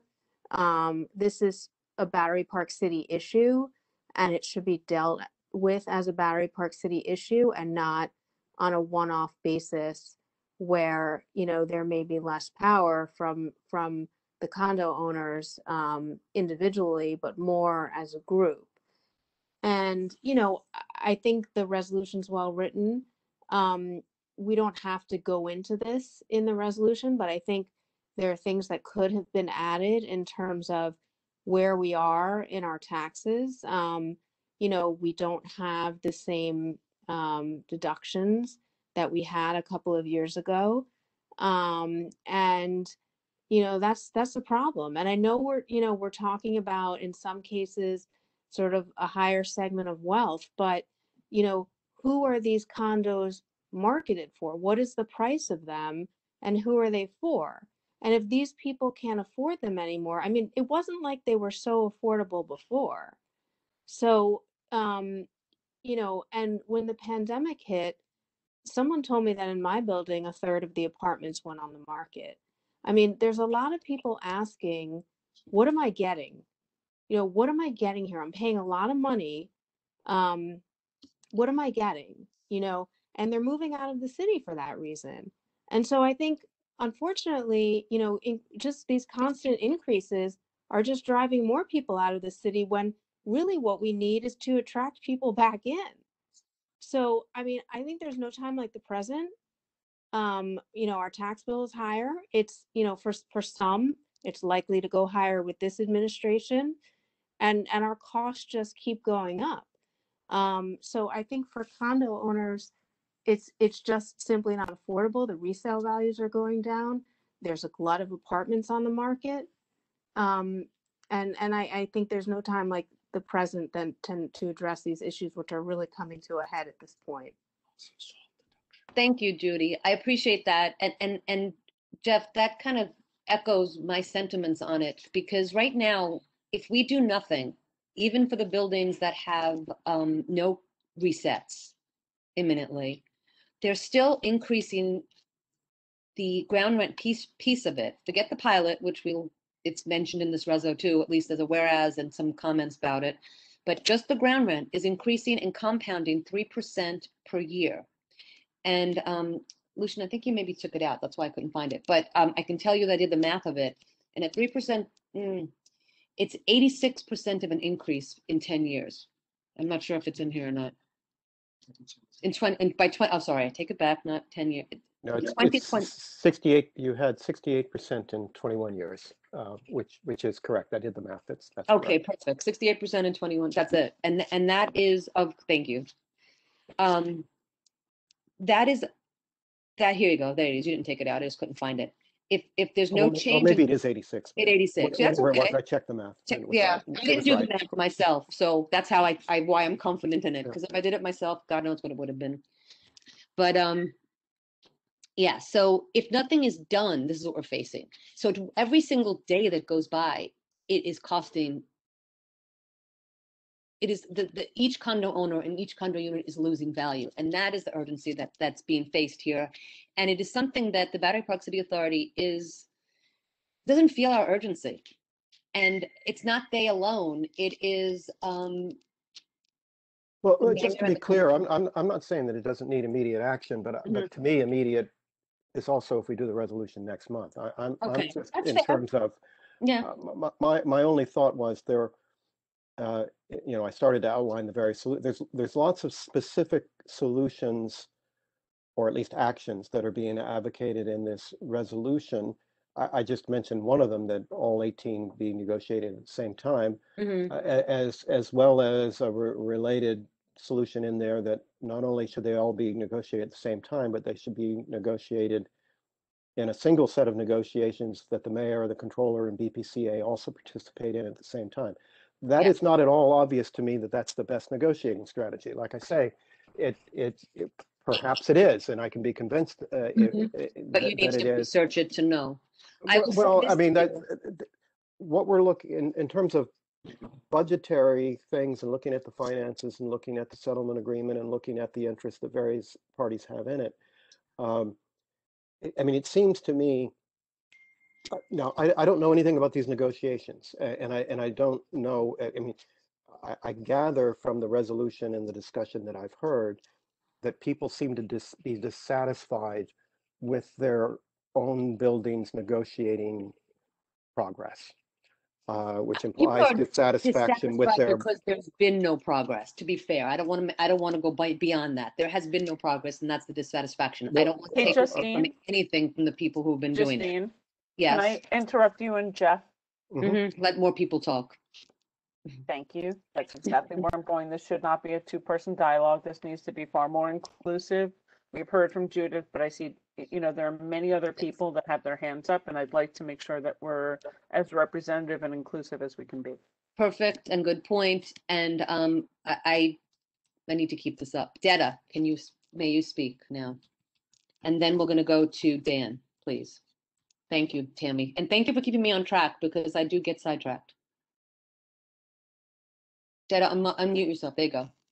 Okay, so I just heard a mention earlier, I think by Bob of the Upper East Side. So I just want to offer just one bit of clarity that there are only three condo developments in the city that are on land lease. And that would be Brooklyn Bridge Park, Roosevelt Island, and Battery Park City. Um, there are uh, anything, because those are land lease from a public, some sort of public authority. Um, the other land lease buildings have to be co-ops because they're on um, private property. So just to offer that clarity. So it's, you know, if you're looking at comparisons, it would just be Roosevelt Island or Brooklyn Bridge Park. Thank you. That's That's what all. I Thank you. understood. So I was surprised to hear about what Bob was saying, but that's, I always learn something new every day. Thank you for sharing, Detta. Um, okay, can we unmute Dan Ackerman? Please. Sure thing. Thank Hold you. on one second. Dan Ackerman, you are unmuted. Oh, Perfect. there you go. You are. Perfect. Thank you all, and- and thank you, Justina, and the rest of the members of uh, the Battery Park City uh, Committee for for shedding light on this important topic. I will say, you know, first let me actually start off with an introduction. So, you know, as Justine said, my name is Dan Ackerman. Um, I am, you know, have have lived in the community for a little over eight years now. Uh, I guess it's nine years almost. Um, and in that time, have become president of my condo board. Um, have been a member of the board for the homeowners Coali- coalition, which all 18 Battery Park City condominiums are a member of, um, and have empowered to negotiate on behalf of the 18 condominiums, and have since, with John Delaportas, who's on the line as well, um, established the Battery Alliance, which is a grassroots non-for-profit that um, is focused on the issues that are um, important to citizens and particularly um, homeowners in Battery Park City. Um, and the way we kind of further the concerns is anyone in the community can go to our website, which is savebpc.org, see what our, our five-point plan is, but also um, directly contact their elected official to voice their concerns. And you know, in the few months we've been doing this, hundreds of homeowners have done that. Um, so, so that's my background. But what I really want to talk about right now is is what this resolution and what Justine really started off um, saying. And and frankly, um, you know, some of the members on this committee, I, I appreciate hearing that you recognize the concern that homeowners have. But you know, it was quite frustrating to hear that after multiple presentations that both us and the homeowners coalition and others have made to this body, there still seems to, um, you know, be not full kind of clarity on what the issue is. So I'll, walk you all through it at, at a very high level. I, I, recognize we have to move this forward. Um, and really it is when Battery Park City was developed, the developers entered into um, a ground lease with the Battery Park City Authority. That ground lease was not negotiated by the homeowners. Frankly, most homeowners who purchased homes were not fu fully aware of these provisions because they were structured as commercial um, land leases. And what really happened um, is initially they were quite reasonably um, priced, and it was to promote affordable housing. That's the Battery Park City, one of their missions. And that has completely went out the window. Um, and why that has went out the window is the ground leases themselves have continuously went up in cost. And the way the leases are structured was initially, you know, there were lockstep increases until you hit a certain point of time, where either what happens is um, in the reset that the ground lease amount increases to 6% of fair market value of unencumbered land, which in downtown New York City, where you have wide streets, is a huge amount of money or the and it's the greater of the two, or 3% more than it's being paid right now. And what that means is, you know, as one of the other board presidents had done the math, Bob Zach, in his condominium, that would equate to one unit um, having to pay approximately it was $113,000 per month um, if that reset were to occur. So clearly that's unsustainable. And the other issue is the leases themselves expire in 2069. Um, and what that means is people right now who are trying to buy homes are unable to get mortgages. Seniors, and it, it's that's starting to occur. Banks are starting to take note of this. Seniors who live in the community and want reverse mortgages, whether we agree with them or not, are unable to. Um, and some of them need that money for you know to support their golden years. So this is a huge issue. And on top of that, um, the affordability crisis has occurred where today just for example, in my condominium, a one bedroom apartment, um, the cost that is paid for HOAs, which have not went up in the seven years I've been on the board, so the common charge cost, the pilot and the ground lease nearly equals what rent is. So, and this is an issue across the community. So in essence, the value and the benefit of owner home ownership has been wiped out. So it's it, we're at a point where something needs to occur, or people are just going to start walking away from their apartment today new people who are willing to come in are not going to be able to mortgage. So you're really just leaving it for people who can pay cash, um, which is investors. So further degrading the community. And then the last piece is you have an expiration coming, and we're all kind of aware that it's unlikely that the state, who's our landlord, is going to evict 4,000, the residents of 4,000 different condominiums, which is probably somewhere around 12 to 15,000 people, depending how many people are in each household. So how do we address this? there's a lot of issues, and I, you know, this is a really long um, resolution, and it's three points in my mind. One, we have to extend the ground leases for 99 years. Two, we need to stop um, the kind of uncontrollable increases in ground leases. And I think the easiest, it'd be great to say, let's freeze it and reduce it, but the reality is that's probably not going to occur. So let's align it with the rent, the New York City Rent Control Guidelines Board. We're supposed to promote affordable housing. They dictate, you know, what is an appropriate increase for private landlords. The state um, should follow that. And then lastly, once we get those issues addressed, let's look to the pilot issue with the city. And why all of this is such an issue and why it's kind of imploding is the homeowners coalition has been trying to negotiate with the authority for five years. And we've been getting the same runaround because the authority is not incentivized to, to deal with this. I don't think this issue is so complex that in five years there could be there was no movement. On top of that, they hired a consultant and spent hundreds of thousands of dollars to try to address this, and they're still unable to. Um, that just shows, you know, no lack of will. So we need to pressure and you know our elected officials to move this forward. The community board, which represents the community, needs to pressure the commu- you know those elected officials and make clear their position because this is one of the top issues that are relevant to the community. And this isn't the first time this has occurred.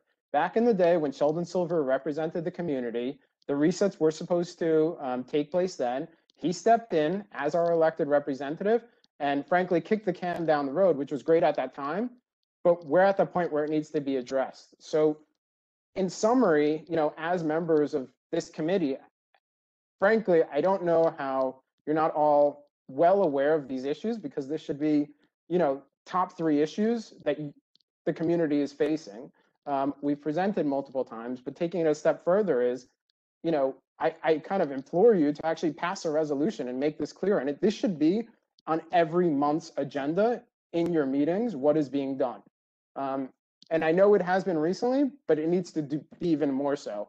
And if it's not, I would just ask myself, as a member of the community board and this committee, uh, the Battery Park City Committee, am I truly representing and addressing the issues of the community? Um, so I'll pause there. I'm happy to answer any of your questions on the specifics. I recognize we're, you know, I don't want to take a half hour from you, but um, this really is an important issue and it shouldn't be kicked down the can anymore. That kick that the can shouldn't be kicked down the road anymore. Dan, thank you so much, and I appreciate your passion and, and the efforts you've put forth, and, um, I, I, cannot agree with you more. Um, I feel as if, and I guess I'll just say this once, everything that's in the whereas is that's fact. That stuff, I don't think anybody can disagree with the whereases, because that is, um, unless you're gonna challenge my math. I, I, there's nothing to challenge. That, that has been years of putting together information. Um, I also added um, some things in terms of the um, consolidation of all the homeowners together. That was actually a part of a comment that was written, read into the minutes of the last, batter- the, the bat, last um, Battery Park City Authority meeting, um, the, the link, Nick, that you sent me to, to attach to.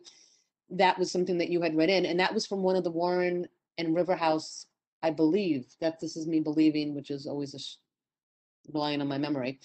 But whether it was Bob Zach or um, one of the two um, condo owner, condo representatives, board representatives from River and Warren, who said we should all be together. That's not my, you know, brainchild. I heard that, added that at the last minute because I thought, oh, okay, that's what they're saying. Um, and they put that on the record, and I am well um, I, I'm confident that that was there. I mean, the, the therefore be it resolves is certainly up for grabs to me because there are some contradictory asks, one of which is saying, you know, freeze ground rent. The other one is saying, oh, only increase it 1%. And it references the, the rent guidelines board for rent stabilized apartments, whatever is lower. Um, I think to be fair to the Battery Park City Authority, who I will say again, I value them being our um, landlord. I think that they have provided an amazing service. I, I have nothing that I am ever going to say is going to be looking to get rid of them or do anything that jeopardizes that jeopardizes their position. I believe that the negotiations have not gone as far as they need to go or not gone anywhere, if that's a fair statement, because not enough people have been at the table. And the authority, what we're asking for is is a um, we're not asking for revenue neutral changes. We're asking for a total revamping of the of the ground rent with each one of these condo buildings. It's a whole, it's like ripping up the contract and starting from scratch. And that is a huge thing, and that I don't believe the Battery Park City Authority can do that alone. I think they need to have the controller in the room. I think they have to have the mayor in the room because it's money that is being taken, if you want to say, from the city of New York. And I'm not saying taken and no money comes from us. No. No, we are generating Justine, a lot of money. more people from the community go over the resolution if you want it passed. People need to understand and know what's in it. Okay, I will. Judith, do you have your hand, Judy, you have your hand up again or no? I'll take it down. Oh, Okay, so you're you're good. Okay, let's go through the resolution. I do want to pass. So what ha- that means me reading it, I am happy to read it. I, I would like it to be passed as much as possible, and um, I am willing to take out some Betty still wherefore. has her hand up. I didn't even see Betty's hand. I'm sorry, Betty, please go. I apologize. I did not see you. I'm with Jeff. I think we are completely unprepared, and at this point, I would vote down the resolution because it needs more tuning. And as far as one month making that much difference, I strongly disagree. And I think that the ill-advised wording in there would do more damage than the timing Interesting. would be of value. Which ill-advised wording? Because you do know that. I'm well, with I- Jeff. Let yeah. the group look at it get back next month and I think it'll look different. Um, The proposals. yeah, no, I hear you. Um, the, the, the therefore be it resolves part of it is what you're, con- uh, you're concerned with. Is that a correct statement? Uh, both. Both. Oh, interesting. Okay. Um, I'd like to hear from everybody. Maybe, we- could we take a vote on postponing it versus trying to talk through it now? Lucian, can we do that? And then I'm fine with going with the, what, what majority says. Okay, um, s- somebody can make Oh, a and motion Jeff's to hand is table. And maybe Jeff's hand is raised too, but if you'd like to speak now, Jeff, that's fine. Y- Yeah, I just wanted to, you know, I agree with Betty's agreement with me. But, um, but I just want to be clear, it's, it's not that we're not aware of the problem. The problems, we're well aware of all the problems. We agree they're very serious problems. What, what, um, what I was concerned with is based on the relative lack, the, the, the relative lack on at least my part of the details of the negotiating uh, positions and so forth, it's hard for me to feel comfortable recommending a particular solution uh, to the problems. Um, and uh, and you know, for, if if all 18, I mean, if you're you're telling me that you've surveyed the the boards of all 18 buildings and all 18 buildings want to be part of a massive negotiation, I would certainly go with that. I think they're entitled to to to group together. But but if but if one building wants it and the other 17 don't, I I feel perhaps differently about that point. Uh, I suspect it's somewhere in between.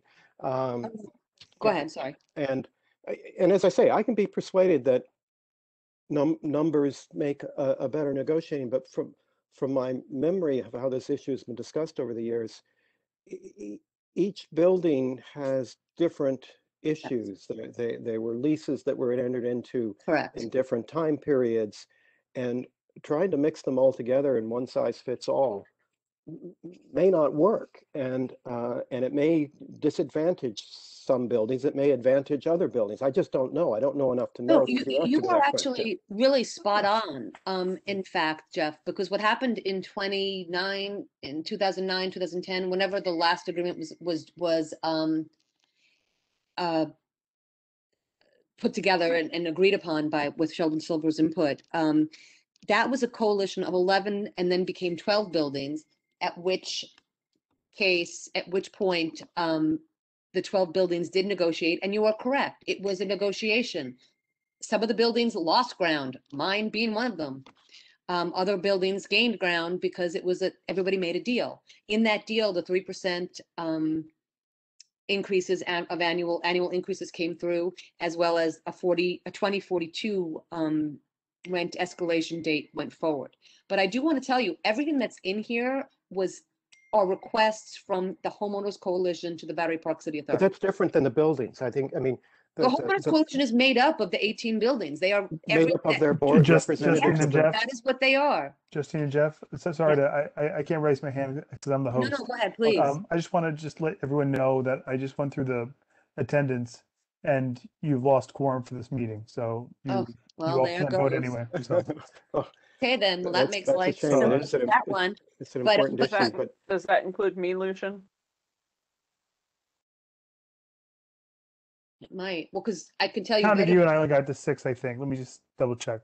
One, two, One, two, three, four, five, five, six. Six, it's only six. Yeah, including you, Tammy, six. And you need seven for quorum. This And committee. anybody hanging out in the, no. So just I. I think that it's automatically then put as said for tabled. Mhm. but, but I think it's worth for next- discussing some of these Could we keep issues. talking? But yes, we Yeah. won't vote on it, but if we can You- keep talking, you I have a lot cannot. of time.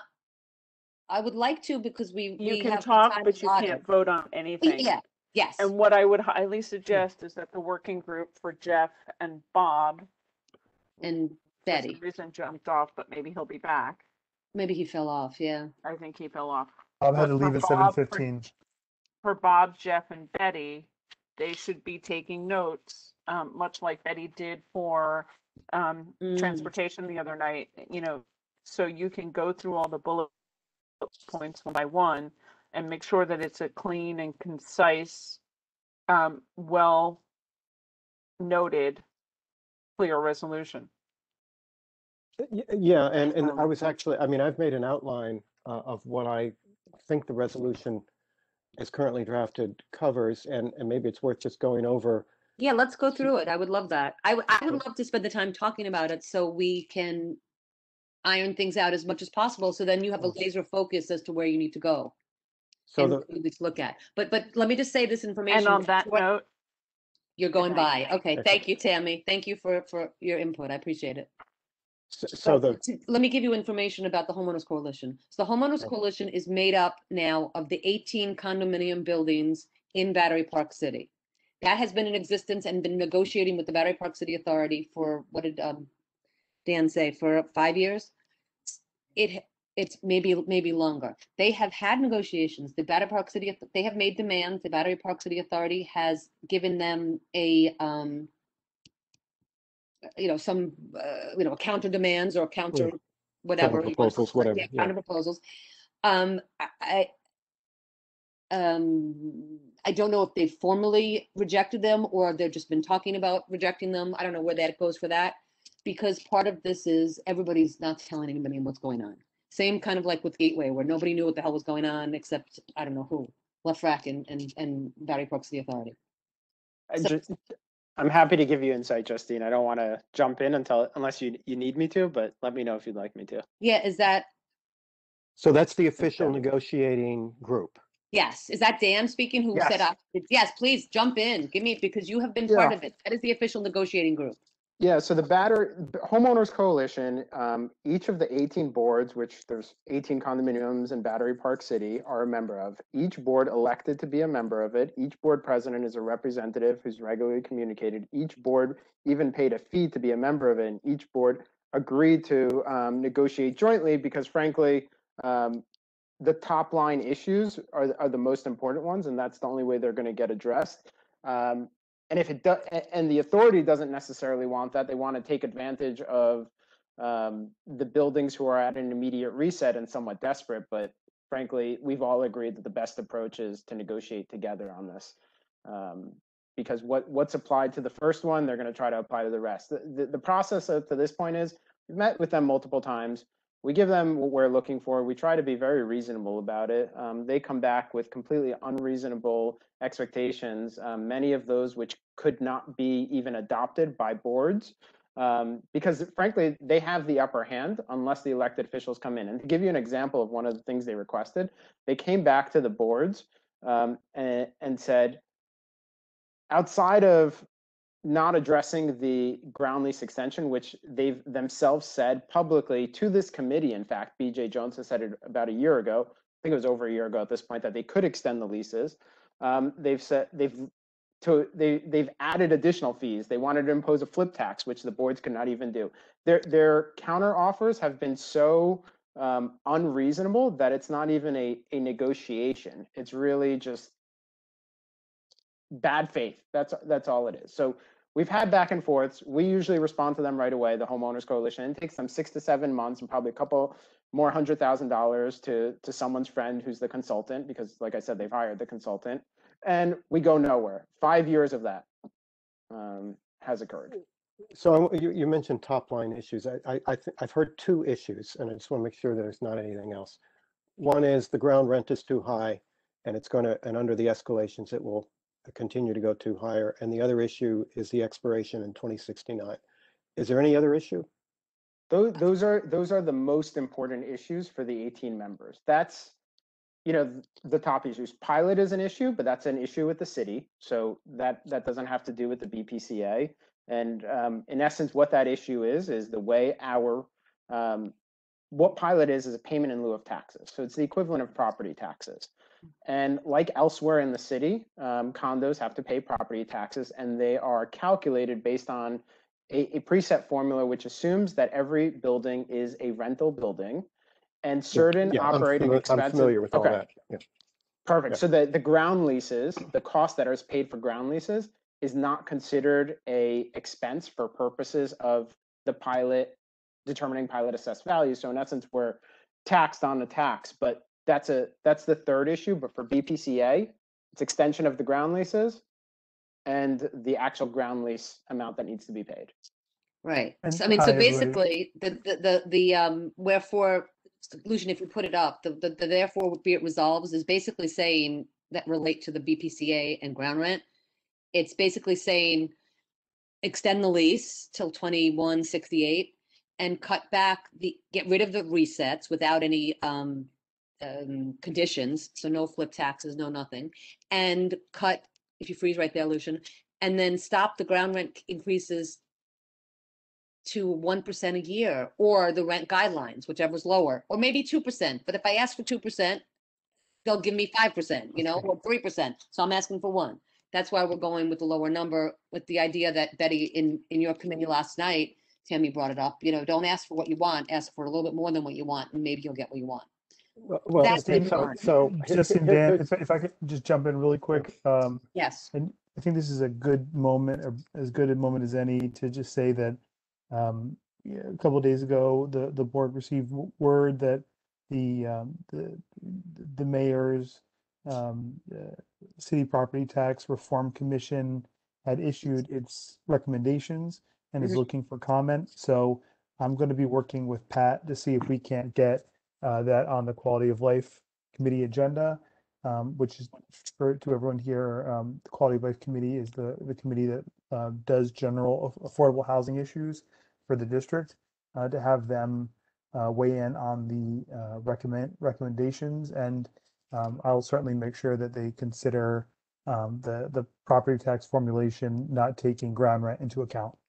Can, can I throw something else out to you? Because I'm actually loving that you, um, said that. Because I was thinking of this. What, I appreciate that Betty and Jeff and, um, I think Bob too was asking for more time. What if we table the, table this, which we're tabled anyway, we can't vote on it now, I get that. But bring it up again, because part of the discussion in here does involve pilot, bring it up again as part of the, um, Quality of Life Committee later this month. And this way it can maybe, if in fact you guys are ready to, to move forward or to opine on it and to give some information and opinions, um, for that committee, at the end of the day, I think you need to show up and actually give some information because the ground rent is important.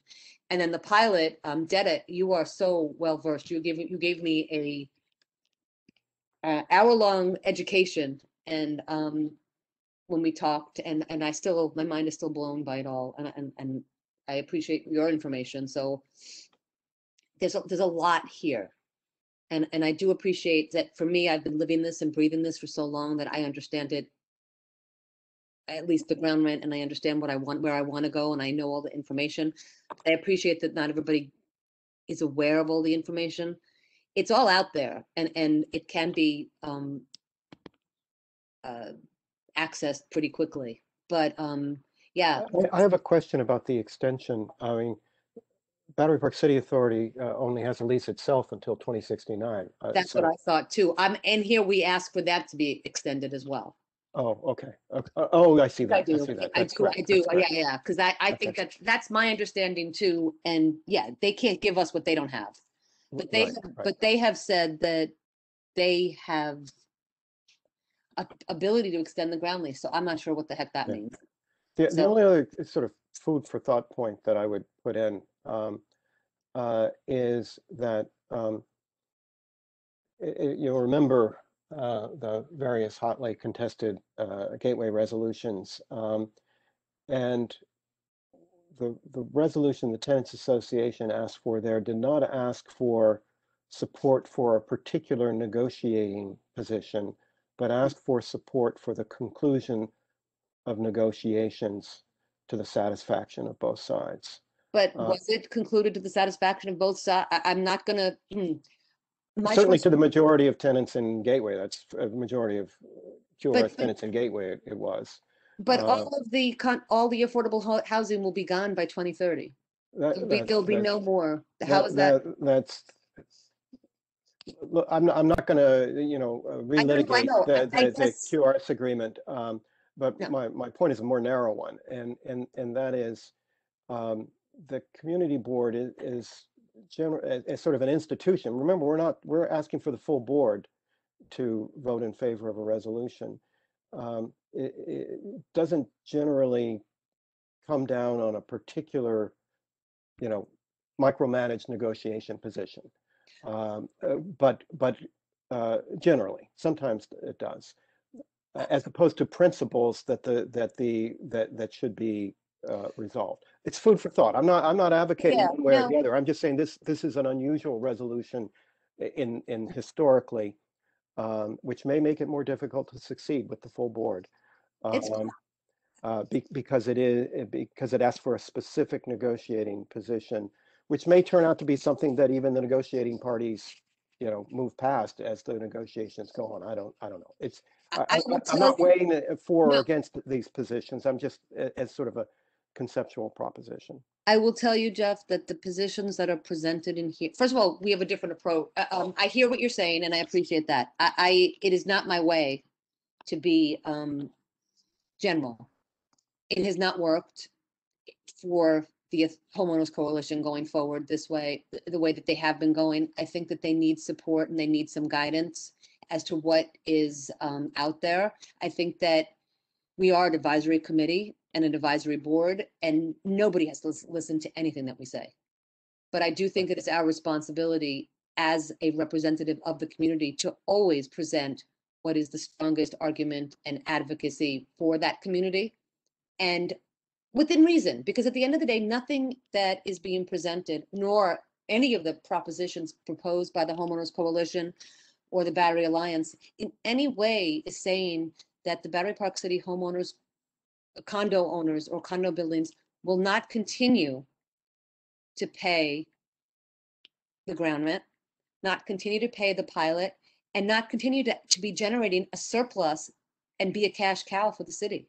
No, I, I'm, I, I don't, I don't, uh, I, I just want to be clear. I'm, I'm not saying that's not a reasonable position. I'm just saying as a, Yes. as a matter of process, it I is more difficult to get approval of a majority of a 50-member board if you're asking them to approve a particular negotiating, you know, narrowly defined negotiating position as opposed to approve general principles. But I Now, also- Maybe, you- maybe you will get the, maybe, Yeah. maybe the, maybe it's persuasive enough that even the particular negotiating position will win a majority Well. I think that That's, that's my only point, is that it's harder to get approval that, of that's something that's narrow fair. like that. And I guess what I'm relying on is you and Betty and um Bob to pull together the facts to be able to present, to to to support at least the the um wherefore, where whereas is.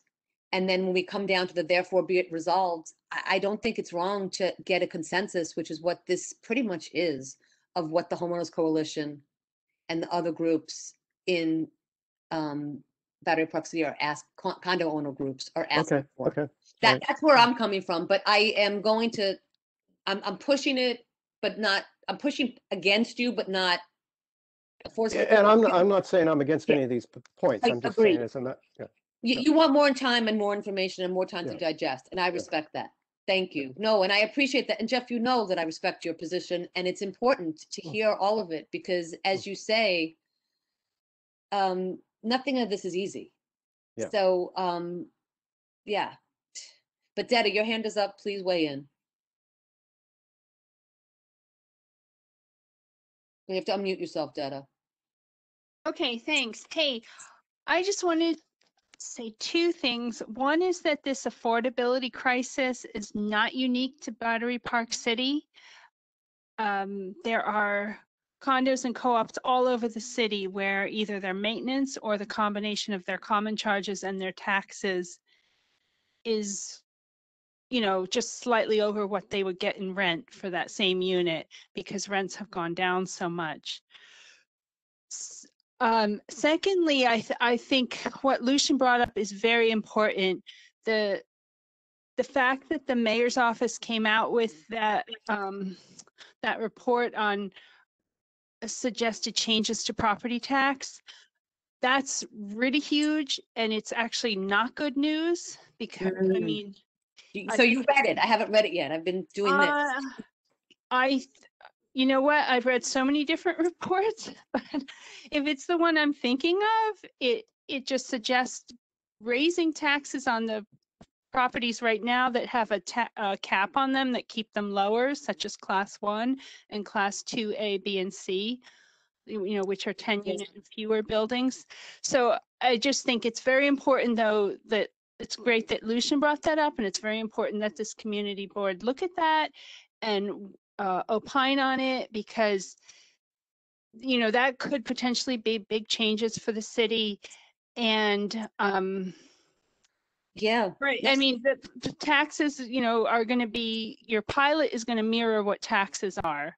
Exactly. So That's No, important. to That pay is so important, Detta, because you, because you're exactly right. And Mariam, I hope you're paying attention because that really is in the purview of the Quality of Life Committee.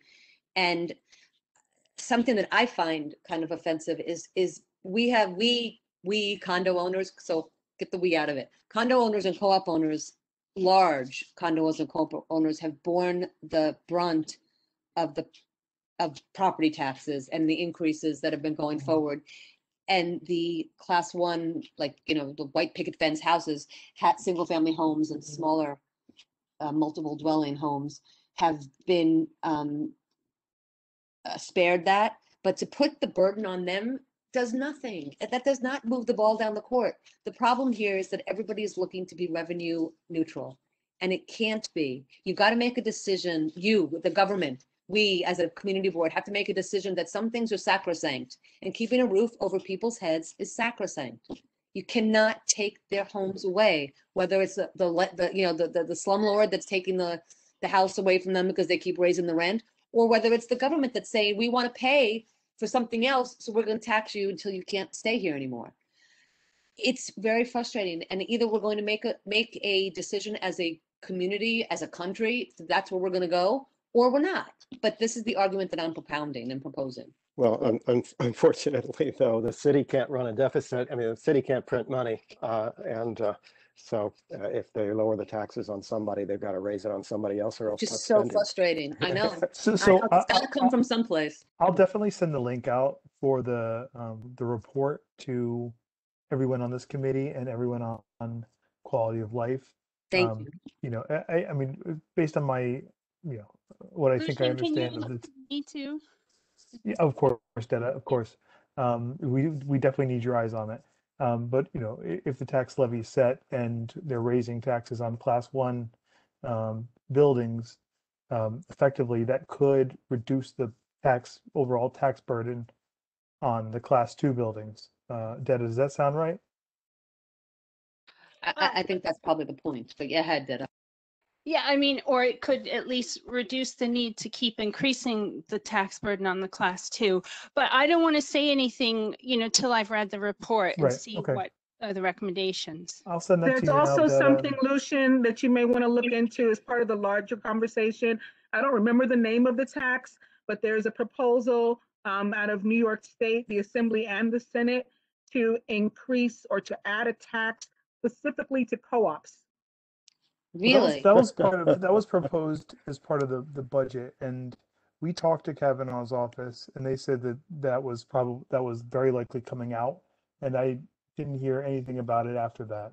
So if it, if it hasn't come into effect already as part of the, the current budget that was passed by the state, then I think everyone's probably okay for at least another year. Okay. This, this, No, this, that's, that's a very good point, but, um, Daniel, I I'll hope. see you if I can us look that. into it and follow up and just confirm. Yeah. Uh, Paul, Paul, um, Paul was really on top of it. Oh, was he? Yeah, and he was he was in that conversation, so he may he may be tracking it. So I check it with him for sure. Okay, cool. Thank you. No, thank you, Mariama. That's great. All right, maybe we stop talking about this and move on to the next thing so that Pixar, Put Pier, and Krista Robbins can get going. Is that fair? Are we okay to stop this right now? Anybody have any questions or anything else? And then we will talk about this more, if that's okay with Mariama and Pat, at the Quality of Life Committee later this month. And whether it's a resolution or not, I don't know yet at that committee, but I would be, I would ask our little um, group of Betty, Jeff, and Bob to be prepared to at least try to move this to resolution for next month. sure.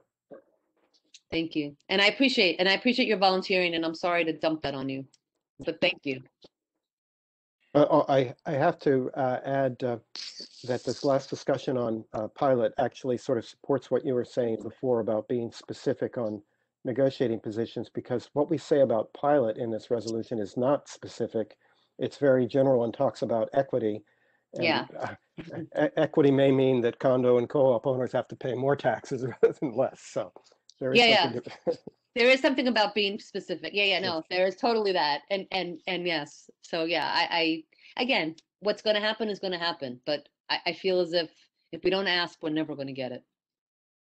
But anyhow, no, thank you. And thank you so much, Jeff, for engaging in the dialogue with me and for Betty for engaging in the dialogue and Detta and Judy and everybody else who piped it, who piped it and, and, and Bob who's not here. But thank you, because I know I'm very um passionate about this.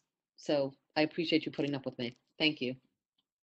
Um, next, Lucian, maybe we can let um Krista speak, right, and move on. Oh, look at that baby in the background, Nick. Let me see that baby. Let me see that sweet baby. While the Make me baby's coming on screen, uh, I Yeah. dropped back. a We'll- link we'll to bring the her back. report in the chat. Oh. There we go. Hello, little sweetheart. Oh, you are so cute. Thank we you, She just woke up. She just woke up from a nap. Oh, she's- oh, that's not good at this hour. Just woke up. Well, yeah, she didn't take a nap today, and then she took a Alright. late nap, and we thought maybe she was down. Yeah. And now she's up. Oh, you're gonna have fun tonight, Nick. All right. Hey, n- not any more fun than I have at the Battery Park City Committee. Yeah, there you meeting, go. I can tell you I'm that. sorry. Oh, you. Um, very briefly, Justine, just a couple of things for the record. I don't want to belabor the point, but uh, Yeah, please. I'm so sorry. thanks- Yes, you certainly thanks, should thanks say for, something. for for you know having the conversation. Of course, this is exactly where the kind of these kind of discussions should be taking place. And Jeff and Betty and Bob, I welcome you to, to jump in as well. It's uh, as Justine had said, it's not nothing of this is easy, so we are uh, committed to doing it. Um, as BJ had said a little while ago, and in our strategic plan, this is something we have indeed been working at for for some time. And again, we, like you, wish it were as easy, um, easier than it is. But it is, uh, you know, we spent about an hour now talking about one resolution in a single committee with six members, multiplying that across 18 condo boards for the next 50 years. You can understand why sometimes it gets a little complicated. But very quickly, for the record, we are interested in extending the master lease past 2069. BJ has said that. Of course, that is something that is 50 years out. The things that certainly are more of, uh, not that that's unimportant, but the things that are kind of more urgent are things like we discussed, like ground rent resets, which for some buildings are coming up. For most buildings, they're only about 10 years into what was a 30 year agreement.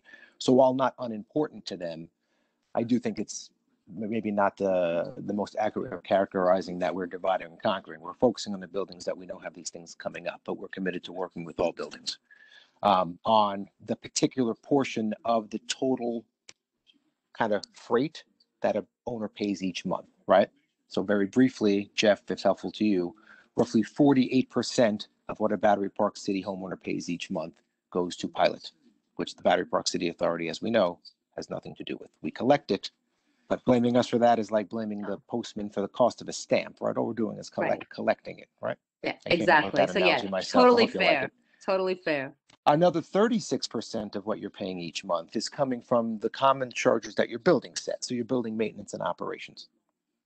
The final sixteen percent is kind of the nut of the issue here with respect to ground rents, and that's exactly what BJ and the team are committed to address it, especially for those buildings that have kind of those those increases that are that are scheduled in. Um, as Jeff had astutely noted earlier, though, back in the 2011-2012 deal, again, it's not like all the buildings were starting in the same place anyway, right? They were at different points. So what you needed to first do was make sure they all got to kind of a level playing field because if you're going to increase everyone at a set amount, they all kind of have to be starting at roughly the same amount. So as a result, as Justine had noted, some of the buildings in 2011, 2012 were already paying very, very high uh, rates. So when that 2011, 2012 agreement came in, they paid less. Some other buildings came in paying extraordinarily low rates.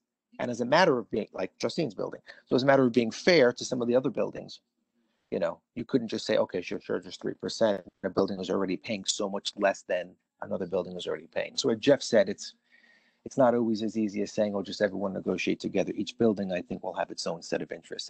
And that's what we're interested in making sure we're addressing and certainly trying to prioritize, though not diminishing, prioritize the buildings that have the most immediate resets um, coming up. So we're committed to it and we look forward to continuing the conversation. But I did want to make sure that those things were uh, were clear. We're committed to doing it and committed to uh, this wonderful neighborhood. So thank you.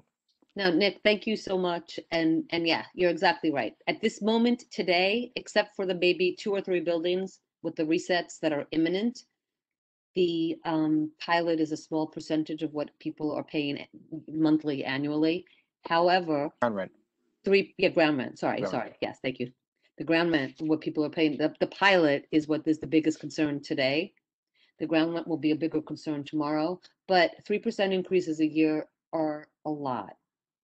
And, and that is something that I think the reason why even the buildings who are not facing the um, imminent uh, reset, they're hurting now, whether it's COVID, whatever else, it, they're hurting now.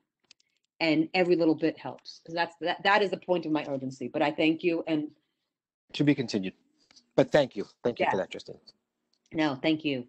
Um, all right, should we talk to Krista? Yes? Hi. I feel so I feel so flippant now after that conversation about my mini golf project. So necessary to, to bring us down now. Make us happy, Krista. Make I us. feel, I feel quite flippant, I have to tell you. Um, I'm gonna try to share. I, I I'm so used to using Zoom, so I've not I've not used WebEx. I will. S- Maybe has to make you host. I have no idea. I, I Well, got let me- let me see what I can do, and just tell me if you can see it. Oh, I see you're trying to stare, so It's that's good. happening. There you go. Okay, great. Okay, so let me just say, so I'm a Hell's Kitchen girl, but my son goes to um, IS 89, and he is a uh, he's with the Downtown Giants with football and basketball, and so I love the neighborhood, and and I'm there more than I ever thought I would be. So we are Rockefeller Productions. Um, we specialize in family entertainment. We do, you know, theater and film, and we are are branching out into putt putt and these live events. So we were the company that was behind Paddington Bear at the DR2 Theater um, and the Very Hungry Caterpillar Show, which we also did a version of the Caterpillar Show at the South Southport, um, the museum, the, the Seaport Museum. So we have licensed. Let me see if I can get this to load. We have licensed um, an 18 hole mini golf course from Pixar, which is based on the uh, Pixar movies. Let's see if I can get this to load. So this has been running in Australia now for a little over a year, completely sold out. Um, people just flock to this. Let me go to my next picture. Um, we've been working on this for about a year. We got the license. We've been trying to find the right place for it. Um, we have solidly been on a six month uh, um, tour of the city trying to find the best place. We've looked we looked at Brookfield, we looked at a couple of Battery Park City places, but when we when Pier A was presented to us, I mean it is just so absolutely perfect for us. So this is the ground plan that we've got. Can you guys still see that as I move through? Okay, great. So that's my production supervisor has has mapped that out um, down at Pier A. I mean, it is by it's physically distanced, it's COVID safe environment. I mean, our top priority is keeping the staff safe, the patrons safe. We're we're doing timed tickets, and there's a cap on the number of players that can be on the course at any given time. We of course will have the sanitizer sta- stations located on site, physical uh, distance. We'll have staff that make sure that people are on each hole, you know, one at a time. Um, we will sanitize all the golf equipment between all users. So once they get through to the 18th hole, those balls automatically go into a machine that sanitizes that, and then their their um, actual um, putt putt. Uh, we'll bring in security. We'll have 24 hour security that we are happy to work with the vendor that's already contracted by the park. And the biggest thing that we want to do, let me go through our safety protocols. So again, we have these these sanitizing guns that we go through. We spray down the entire course, and then we do the balls and the clubs. We'll have everybody will wear face masks on our staff. We will fo- follow CDC guidelines in terms of you know where we are by the time we open. with outdoor face masks. But we're we are proceeding as if everybody will be wearing face masks. Krista, where is it going to be by the pier? At the front, like close? It's- If you, yes. is there a place? to- Oh, there you go. Perfect. So we'll be, you know, this is just a picture that I took when we were down there. So it's sort of this this whole section where people are getting their tickets here, and we'll have stickers that are, you know, keeping people six feet apart. We have uh, made sure that we've got the 15 foot, you know, fire lane there. People can get through. The planters here, but we'll take this space right here, keeping the bike path clear. Um, and our biggest thing that we that we want to do is we really really want to work with the community so when we do our shows when we whenever we do dress rehearsals or rehearsals we always bring in schools for free. You know they provide the buses but the buses are free. But we want we we really want to reach out to these schools in the fall. We will typically open up on a weekday, probably about two o'clock, but we will open early for these uh, elementary schools and middle schools to be able to come and do a free field trip to, for us. So we'll open it, you know, from 10 to, to 1 before it opens up to the public and really, really work with the schools down there. We also are really looking forward to working with the community in terms of if you are in that zip code we will always have a discount code, you know, that's on the the website. Um, we're really excited about it. I mean, after this year of people not being able to get out, to get out and this being family fun, and it is so huge with millennials who the nostalgia of Pixar um, just coming down. I think it's really, really great. We're super excited. We've been waiting to Millennials and their parents. Absolutely. No, absolutely. I mean, it, it is literally, you know, all all generations. It's it's parents and grandparents and the teenagers and and so that's that's what we're looking forward. I mean, we're we were hoping to open July 1st. Um, we're getting pushed back a little bit because of shipping, getting it from Australia and the delays because of what happened in the canal. There's a delay in containers. Um, so that it might be closer to the end of July, but we are really hoping to open in July and run through the end of October. Krista, that sounds so lovely. Um, so when you say programming or you said shows, what kind of shows would you have for mini golf? Well, it's not. It's just our company. You know, we do the Very Hungry Caterpillar show. We do Paddington. Um, we're about to open a big show at Theater Row in the fall. So this is just the putting green, and it's just the 18 hole experience. Mhm. Um, but I mean, that was just to give you a little background on our on our company. That's great. And how many, so is it three, three separate putting greens you're gonna have? Is that what it looked like in that picture? 18 holes. 18 holes. Oh, so Yeah. you get to go play the whole nine yards. That's so yeah, you play, you play the whole thing, and we'll have staff there. So you know, you do you get through one hole, and then you move on to the next and the next, and so our staff will make sure that people are moving through. They're timed tickets. Okay. Um, and then we'll always, you know, keep a, a, a an amount of time where there's walk up. People can come and, and buy tickets right there. Um, so we're yeah, we're very excited about this possibility. And again, the second we saw Pier A, it was like that's where we want to be. That is really cool. And um, you know, unlike because you sat through the whole conversation at Brookfield, unlike Brookfield, that seems like it's our backyard. This is not. I mean, it is, but it's not. So, so, so I, I, at least for myself, welcome. I don't have many questions except just do be aware that there are some residential buildings around. So, what time? What are your hours? So in ter- so when we load in, we've specifically spread our load in so that we will never ha- so that load in will be it, it- never past 6 p.m., never before 8 a.m. Um, our running times, we believe, probably 2 uh, to 10 p.m. on weekdays, with us being done at 10. So the last time ticket is 9:15 because it takes me about 45 minutes to go through. Okay. And um, and week ends 10 to 10. First course, first one goes through at 10 a.m. But again, they're down and out by 10. At 10, 10 a.m. is fine. 10 p.m. may or may not be great. We'll see. What I guess what I would ask is let's keep in touch with the conversation. And I also want to hear what the community has to say. But let's keep Yeah. in touch. And if there's an issue, would you be willing to cut it back to nine if there if people could? Oh, a hundred percent, a hundred percent. Yeah. I mean, it, it in the summertime, weekdays maybe you know dark would be great. But again, I really don't care. At my- me, at this point in time, I don't see an issue, but I would love to know what other people on the community think or anybody in the, in the community thinks. It's, it's a great amenity. Having more things to do is wonderful. Yeah. And it's lovely. Like, how much does it cost? By the way. We're gonna we're averaging about nineteen dollars a ticket. Uh, We're gonna do all kinds of family packs. Um, so we're working that out with our marketing team, but um, about it's gonna average out to about nineteen dollars. So per person. So if a family of four would be Yeah. nineteen times four. Yeah, except that we'll we'll work out of like a family of four pack. Got it. Okay.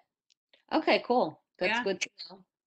Thank you. Um, anybody have any questions? Poor Krista has been so patient and, um, Silly button.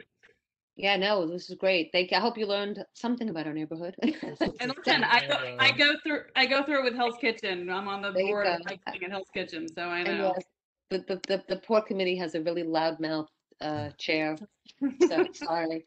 But, um, anybody have any solution? You wanted to say something, so please. Yeah, I mean, I, it's, I feel like it's my duty, um, just to, um, warn you, um, during the summertime, there, there is, uh, in the past, there's been a lot of, um, illegal, uh, ticket hawking I for heard, we heard. Okay. So we, so s- they told us this when we had our meeting with Parks. Um, we will have signage that basically says, you know, this is the only place to buy tickets or online. Like we will definitely have signage. And, and when we were told that by Parks, it was a really great thing to know. Um, but So- yes, we did hear that about the scalping. And maybe on your website too, put notice that that's the 100%. case, because yeah, And just, Good and point, just Nelson. try to, um, uh, make contact with the first precinct, um, sooner rather than later, because sometimes, um, the, the, the hawkers can get aggressive if someone says, you know, can you please move out of the way or what have you, and so we, we just want to make sure that, um, you have, a- you know, quick access if you're seeing patterns. You can report that to the first precinct. Of course, you can also tell Pat and he'll tell the first precinct because he's amazing. But um, you know, it, it's just something that we, we want to be proactive with because I I have uh, I was talking to some tourists uh, in Lower Manhattan um, Monday, and you know they've already been um, engaged by illegal ticket hawkers. Oh, And, wow. um, I pointed them towards the statue ticket, you know, ticket line, the official one. But uh, you know, it's it's as people come back, they'll they'll come back too. Yeah, I mean, it was really good advice when we heard it the first time, and we will, we will work really hard on our website and signage and just to do the best that we can.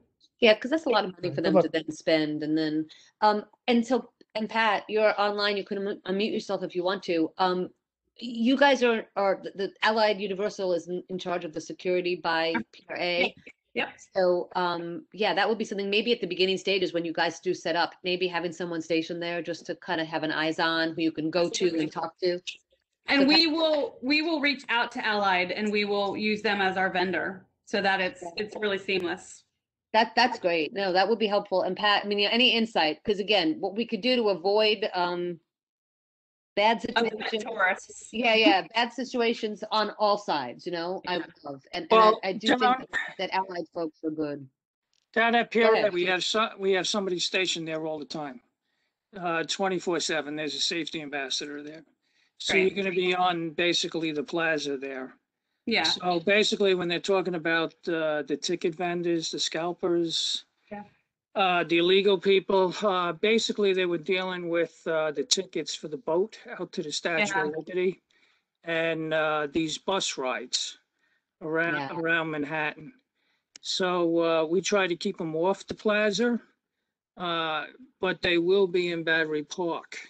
the Right. Historic Battery Park, which is that two steps up Yep. from the plaza. That's considered, you know, and uh, the people line up for the Statue of Liberty boat.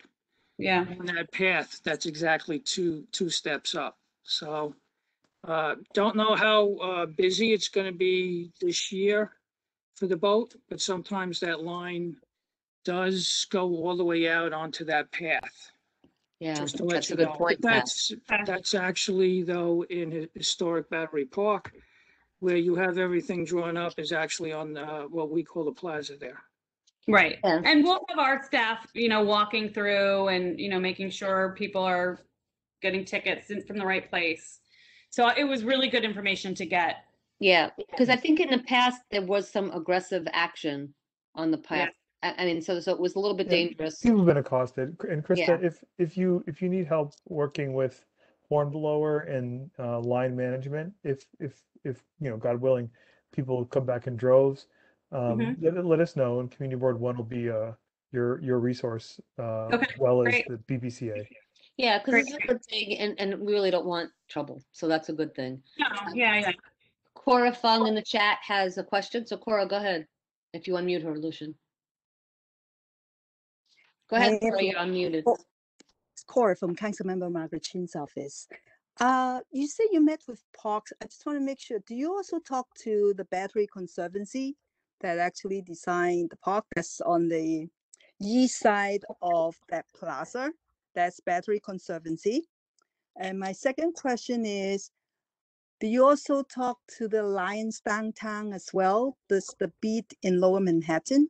And usually the Alliance Downtown has their mobile or uh, like a information booth. It's a mobile information card that will be parked just right off Pier A on Okay. the west side before you walk into the park. So these are two important organizations. I want to make sure you're actually connected with them and just inform them maybe just partner with them. I will I will say we haven't spoken to them um in terms of you know we're relatively new to this big outdoor event experience. So um I just met with Parks and then we had a we met with them there, we had a Zoom meeting with them and now you guys. So we I will whatever other steps I need to take, I'm happy to do. That will be Nick. great. And uh, I have a question. Oh, go ahead, I'm sorry, I'm just gonna ask this. Nick, can you help Krista get the connections or no? Or she? 'cause- Sure. Yeah, yeah, is that okay? We're talking about uh, historic battery, where I And- should, should and say Battery Downtown Park and the Alliance. Downtown Alliance. Yep. Yes, for sure. Okay, Cora, I'm sorry, I interrupted you. Go ahead, keep Too going. easy, Chris. I'll send you that information. Of Thank you. Of course. Great. Nick is here. That's my next question. That Pier A Plaza, that's a public space. So this 18 hole party area, will it be fenced off that the public cannot walk through or will Correct. people have difficulties getting through to park? You mentioned about the bike, bike path.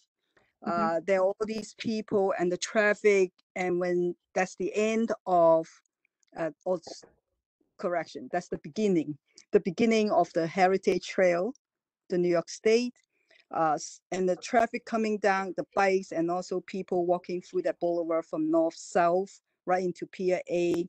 And as Patrick Murphy mentioned, there are all the sorts of people going to the boat. There, there's the docking and the parks, uh, plus all those also that they mentioned. So that's my question about the public space. And I also remember sometimes there will be table uh, in the last round. There were tables and sittings.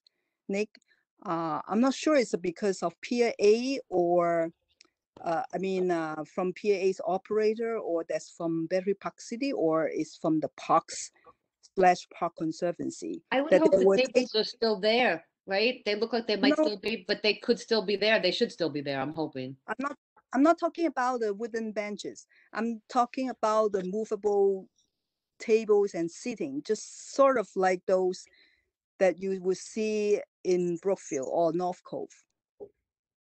So when we when we were there, when we did the walkthrough, I mean, we we are taking up this section that is fenced, leaving this all this open for fire lane and trucks. We we're making sure that there's enough space for trucks to get through because I understand that there's construction that's going on what would be behind us. So this is completely walkable. The bike lanes are completely clear. This one section would be fenced off, but it could, that fence could be removed if we needed it to. But we are keeping one planter side open. And then this, where this, there was this bar restaurant there that I understand is gonna, no, is going away. That will all be completely empty. I mean, we did not push out at all because at the time when we were doing our plans, we thought that restaurant was gonna still be there. There were, there were tables over here and um, benches over here. That's all completely, completely clear. So there's a path to walk through, including the planter. There's this whole side where the restaurant was that's going away. That's all passable. A question, and I guess maybe this is to Nick too, as well as Krista, and then Cora, please keep yourself unmuted and, and, um, jump in on me. So, all right, so the green area is gonna be, everything inside the green area is fenced. Correct. So the, the walkway, so if you're walking from, um, the street, the street is where, that white part on the? Yeah, it's, it's basically, you know, this sort of catty corner right here.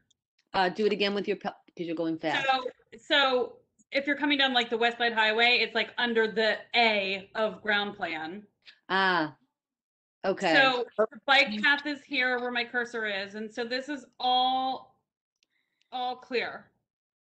Well, yeah, okay, and and and Nick, the restaurant, because they've made that build out there, that that where it's where it's kind of like colored in black. Is Which that I gonna be heard is- taken down? Because before that, I think it was just seats, but I don't I don't even know It was that. open, I believe, I believe it, maybe I have to, I have to get back and check. Yeah, I have to go look. Yeah, I so we it. were But, you know, any- we were told that's going away. They thought that that was getting like struck down. Because so then somebody who's who can spatially look at this, where would the bikes go? So if you're coming across, uh, I guess what I would ask is is is. Where is that? all of- Yeah, I- where's I'm trying to figure out how. to- There we go. That's a better picture, maybe. Yeah, Go- sorry. Go back to that one. No, no, So, sorry, there. so the bike, so the bike path is completely clear. It's it's below this this picture. How do people walk? Yeah, well, so because because at this point, way? So Because this- this whole so- area, the children and the families, they used to just like hanging out in that space, walking to the parks. So So- now the whole triangular Where's the- will be fenced. I just want to get an Yeah. understanding. So again, yes, we would be do using people this. now can This help me look in the spatially look at this. So I cannot walk, if I'm walking along the boulevard, Uh-huh. Bike path with the same direction anyway. So once I Uh-huh. cross the street, You can make this left right here and walk through the plaza this way, you know, right in front of the building. So you can certainly get through the plaza and then that is open, that right here. We're taking up this section. so you're taking up the whole triangular area. I mean, yes, I mean, you can certainly get through and it's, and it's, you know, how it's curved, these planters, we're going up against the planters and around to these, you know, cinder blocks, basically. So the bike lane is open. There's a fifteen foot fire lane, which trucks and people can pass through. And we're taking up this, you know, it's like fifty-six hundred square feet in here. But How there's, many you can cer- people? How many Cora, people? Cora, How do many you, uh, do you remember where the artwork was displayed on the plaza down Yeah. there with the Right now, crystals? it- Yeah, with the That's, now, that's the area, that's the area that they're gonna be occupying. right So now the the whole front, the whole front of, uh, the Pier A where the restaurant was, that's gonna be left as a walking path based on her diagram. yeah. Okay, so people can walk, can walk right through over there. I mean, we, we did it very, we, I mean, when we did this draft, we absolutely made sure that people could get through, the trucks could get through for construction. We had the fire lane, that the bike, the bike path, path was clear. We are flexible with our footprint, so if there is a problem, we can certainly squeeze in a little bit. Well, Um, Krista, maybe we could do a walkthrough at some point. Not no rush to do it, but maybe we could do a walkthrough. Cora, if you you've raised such great um points here, and we could do a walkthrough just to get the parameters, because I I know where Cora is going with all this, and and I am just terrible at the spatially understanding it. I am horrible. Uh, But um, part of the issue is is that you've got bikes and people. So what they what, what's the bike lane is really bikes and pedestrians, and so we're not, just yeah, we, we how wouldn't, many, how many people will there be uh, like at this at one time? How many people will be in that fenced area? 10, 20 or nine? doing- I mean, we're Or- doing it in, in Uh, hour-long blocks, you know, we, we're letting in a- uh, like fifteen people per fifteen minutes and they can go through. So it's all with CDC regulations right now. I mean, uh, basically, a hundred people could go through in, an excuse me, in an hour. I I don't want to go there, but I do want to mention safety, Mhm. Oh, hundred There's- percent. not security. Co- Safety. COVID safety, you mean, or something else? Safety. Um, remember what happened one Halloween day that happens, Oh, yeah. A- and Where the I truck don't know drove down uh, the bike path, if yeah. you if you have 50 people just like clustering in that small triangular area or they just Yeah, they would never be clustered. We've we've worked it out so that they literally are moving from hole to hole to hole, and that's part of what our staff does is they sort of keep the flow of people moving. Um, I understand again- that because I know there's Manhattan Youth at Pier 26, how the the party, how people like they line up, they line up outside for tickets. Like right now, like this past weekend, I've been noticing uh, Pier 26 with that one, people are lining up. They're just lining up like 20, 30 people waiting Right. and then move to the next section while there's there are lots of people inside families young people they were paying playing uh, golf inside and moving along and then the line just keep going depending on the on the weather so Right. there will be uh i would expect it, it's really fun and it's attractive so there will be a huge crowd out there Yeah. Uh, and we have these little sure stickers that will keep people will keep people apart. You know, the, the six feet apart. That's But also, our uh, they're charging nineteen dollars per person, so it might not be as crowded as you, th- well, it may, but it may not be as crowded as you think. I don't think it's a thing for kids to be doing. It's for people to come all over It- it's nice you go to the carousel you know five dollars Oh, yeah, that part, but that, the carousel is free. This is nineteen dollars to, per person to and- play golf. there's always people who can afford to play. you don't want to rip your kids off these uh, fun opportunities. But I'm not talk- I'm not just mentioning the COVID safety. Um, just I just want to mention make sure you have enough blocks or bollards there just to protect the people. A hundred percent. Yeah.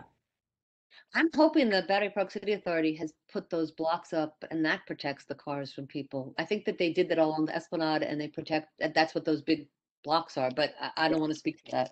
I mean, But they're really good point. Yeah, those blocks are there because I know we we I spoke to them about when we load in, like th- those actually have to get moved because right now a truck wait. cannot get onto Yeah. the plaza. Yeah. That's the point. Yeah, the- um, sadly, because of the world. we Sadly, live in. yes. It is protected by Yeah. those by, by you guys. I, I think Yeah. so. I think the Battery Park City Authority has done a really good job of protecting, the, you know, the Esplanade along and, and, and the bike path, whatever, the greenway. Yeah.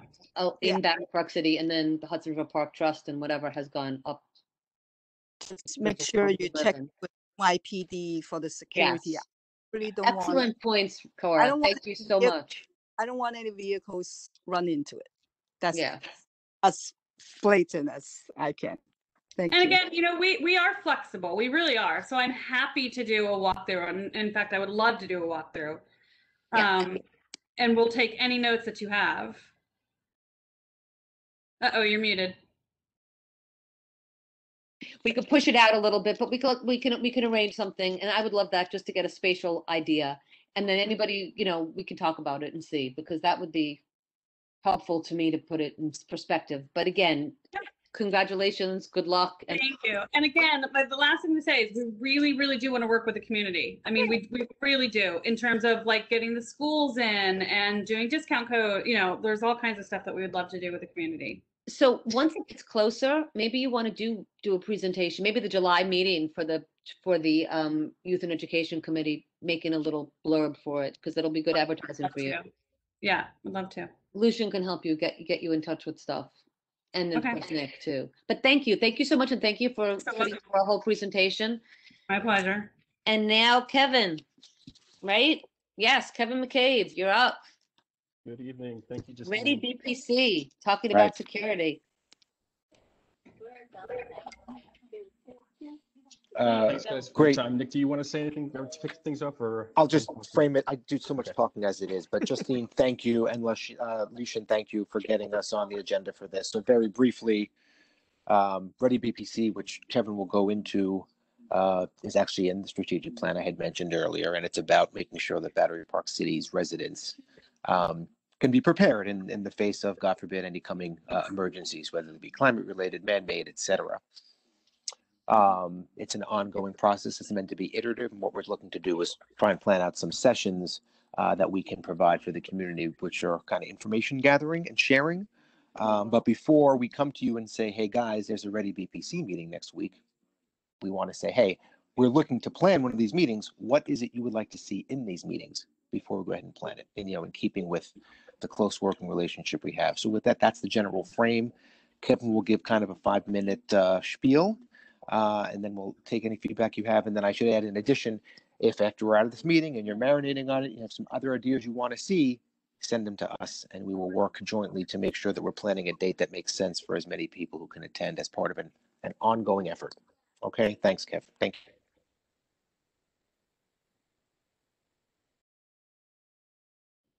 Thanks, Nick, for the introduction. I appreciate it. Justine, and I thank you for the entire committee for your time. I'll be, I'll be even briefer than that, um, frankly. Um, tonight, I just wanted to take a moment, as Nick mentioned, just to introduce you to this Ready BPC initiative, which in the broadest sense is a public engagement campaign on emergency preparedness. Of course, given the aspects of our community that certainly make us so unique, as well as our vulnerable location, we've launched this initiative to ensure Battery Park City residents are engaged and educated around risk awareness, preparedness, and disaster response. With respect to this initiative, we will serve as a facilitator, with the lead agency being our partner at New York City's Office of Emergency Management. Uh, we're working on kicking off this project with an introductory seminar hosted by OEM and BPCA in the coming weeks. Now, typically during these seminars, OEM covers various topics such as what an individual could, should gather in advance to prepare for an emergency, how you can stay informed, what to do in case of a local evacuation, et cetera. And we're looking to make this program as tailored as possible for the BPC community and certainly mindful of the committee's concerns as well as our Battery Park City Seniors Group with respect to this conversation. We're looking to have a long-term initiative, as Nick mentioned, with periodic seminars taking place throughout the year, which will be recorded and made available online, so there will be ample opportunities to review and reference. Our objective here is to integrate existing emergency preparedness materials from our city and state partners. We're not looking to duplicate efforts, as we are certainly not an emergency management organization, yet we still understand the importance of having an informed community. So we're looking sort of with the timeline at the early June, have the first seminar to be virtual, given the existing COVID climate, and we're happy to work out scheduling with you over the next few weeks. And as we begin to work with OEM on organizing an agenda for this first kickoff, uh, we're taking this opportunity tonight to simply brief you on the initiative and solicit any feedback or questions you may have tonight or in the coming days. And with that, I will happily take any questions. All right, well, committee members, as you're deciding to raise your hands or not, um, first of all, thank you. This is a great thing. Um, at some point in the past, and maybe Jeff Galloway, you know about this or not, I don't know, but there, there has been a CERT, so um, a Mhm. local CERT group. I haven't heard much about it, which is a good thing because it means there's been no reason to hear about it lately. Um, but I don't know if it exists anymore. I don't know anything about that, and that might be a group to coordinate with if it still exists. And Absolutely. um, We, Nick, Nick had actually connected me with, uh, with uh, Sid, who I believe okay, is good. from Sim there. Yep. Right.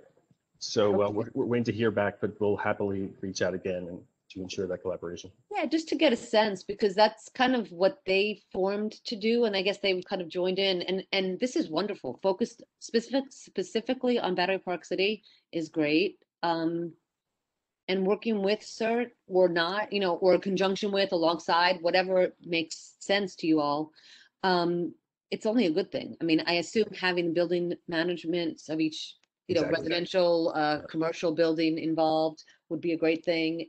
Um, and, and what's the, I guess, and this is part of the BPCA, obviously, so, so there's a budget associated with it. What's the budget associated with it?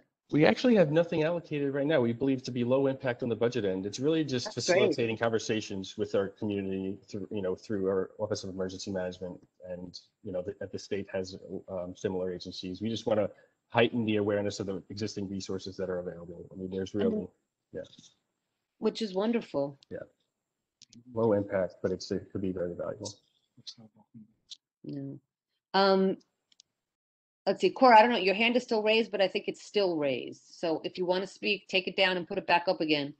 And there you go, she's gone, but you can put it back up if you want to. Anybody else have any questions? Up, Betty Kay, good job, Betty, come on up, let's go ahead. Now, I'd like to hear a little bit more of what you're doing, because then I can better formulate what it is I want to ask. Well, right now, we're, we're in the very early stages. We're working with O- New York City OEM to put together an agenda for a kickoff seminar that would be the pri- primer of emergency preparedness in Battery Park City. So perhaps, they- you know, my understanding is they have a standard deck and they'll go through wh- what folks can do as an individual to prepare for various emergencies. Um, Now, the point, the, the, the point of perhaps this conversation is to identify perhaps ways we can tailor it to be specific to Battery Park City's needs. Okay, Can I Yeah. tell you what my concerns are then? absolutely. As somebody who uses a mobility device, I mm-hmm. know very well that if they put things out, they don't apply to me anyway. I, I'm kind of just out there and it's up to me to figure out what's going on. So about the general dis- disabled population, which includes a lot of the elders. I don't even know that they're identified and I've asked if even buildings know who they are and where they live and you tend to get this, oh, that's private, so we don't really, I'm not sure they even know. If there was a fire, if there was a flood, if there was a, I, Another I- terrorist attack, I mean, Everybody my God, knows. yes, good point, Betty. Uh, as far as, you know, what you do with non-English speakers or the deaf who use sign language. I mean, is there a mechanism to even communicate with these people? That's Even if you good found them, We can look into that. uh, so that they This is all could respond. Good. Yep. participate. And then I realize how many children and pets are left.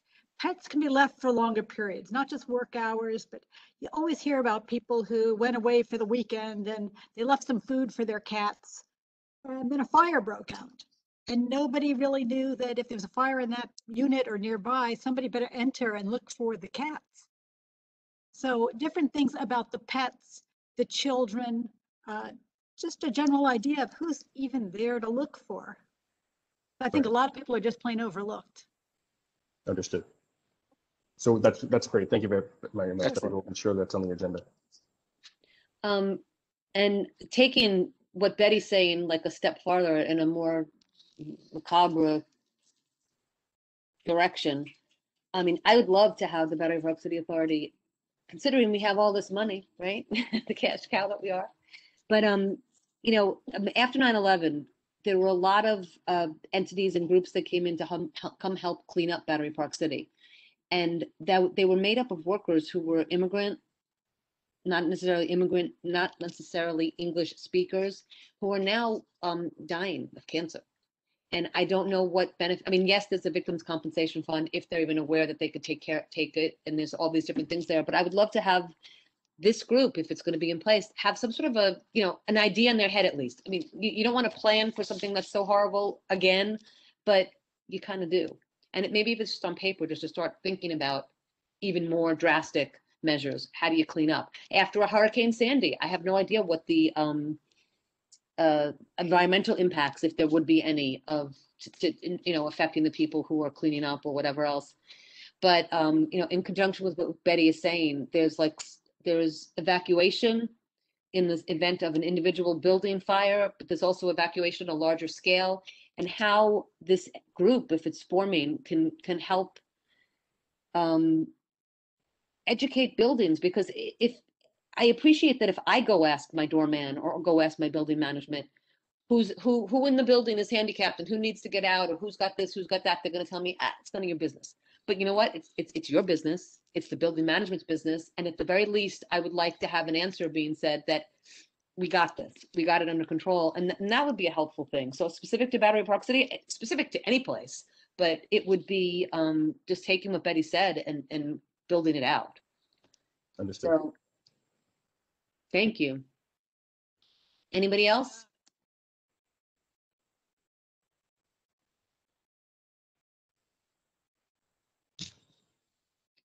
That's a great idea. So, so Kevin, please do come back to us. Um, if it's helpful, I mean, you know, let us know what comes out of your meetings with, and, and I would ask that maybe include Betty into the picture because she's got some really good thoughts on this.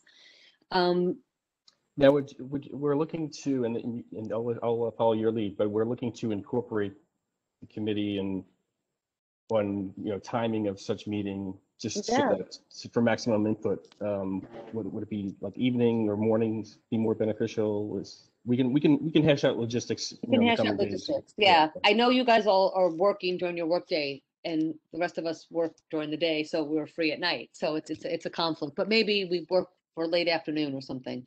Okay, but we'll, uh, come together for a few dates and, uh, run them by you and, Yeah. um, we'll take it from Perfect. Betty, go ahead, please. You're on mute, Betty. From my years in the hospitals, there's one other group I forgot. There are many people who are very dependent on electricity. And if there's any kind of outage, they use it to breathe, they use it for their home dialysis, they use it for lots of things. And people kind of, they use them for rocker beds to keep their skin from breaking down. Lots of things the average person doesn't think about because they're not average people. But it's life threatening for them, even for very short periods. Uh, they should probably be identified and find out, do they have their own generator backup? And if not, how to identify them. So if there's a power outage, you know how to get to them and figure out what to do.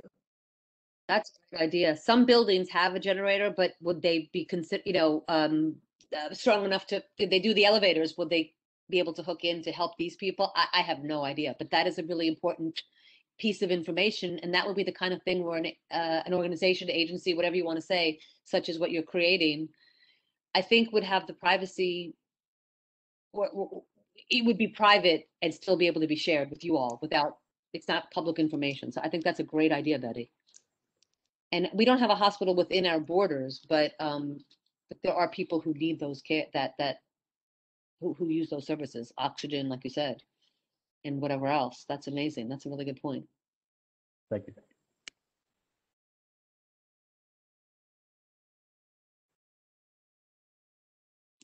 All right, well, I don't see any other hands. I don't see anybody in the um attendees section. So thank you so much, Kevin. And yes, please do come back. Let's talk. We'll we'll schedule it and and come back to our meeting and um it's specific to to Battery Park City, but I think it's also um if there's things we could share with the rest of Community Board One, I would be a great thing to share. Absolutely. So, so if we could put something together, maybe, you know, in, in a, rep- eventually down the line, we could put a report out where it's like little highlights. So that would be Sure a thing. useful thing, because Thanks so much, Christine. about is uh, essential to everybody. So no, thank you. Appreciate it. Appreciate All right, so if we can move on to the next thing and, and finish up in the next like ten minutes or fifteen minutes, that would be that. Twelve minutes. We got twelve minutes for Patrick and Nick. How's that? And we can bring this home before nine o'clock so I can have dinner. Okay. Thank Okay, Patrick, you, you want to go first or shall I? I'll defer to you, good sir. I have Patrick first on the agenda, so he gets to go first and go home like two minutes before you do. Go ahead, Pat. Okay, uh, you can see on the bottom of Nick's report that, uh, dealing with the graffiti, we had, uh, none this year. Uh, for this month, homeless, there was no interaction with homeless for this, uh, past month. Lost and found, we, uh, had three. Uh, Park Rules was at thirteen. The vendors, we got the, uh, ice cream truck back.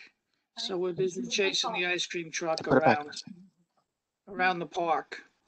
Uh, And of course, now with the uh, nice weather coming, we're dealing with the skateboarders, just uh, uh, dealing with that issue coming back. And uh, we're dealing with more, obviously, homeless in the park. Uh, But like I said, if you see a homeless and they're not uh, acting properly, please call us. Don't try and approach them or whatever, because we're seeing the homeless uh, having more uh, emotional problems, shall I say, and uh, they're more violent than the ones that we've had in the past.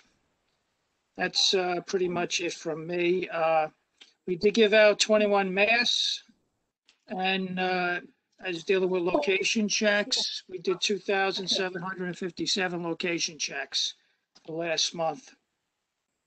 Okay, Nick, you're up. So uh, Patrick, before we go on, I have a quick question for you. Um, with the lost and found, you never found a dog or anything, did you?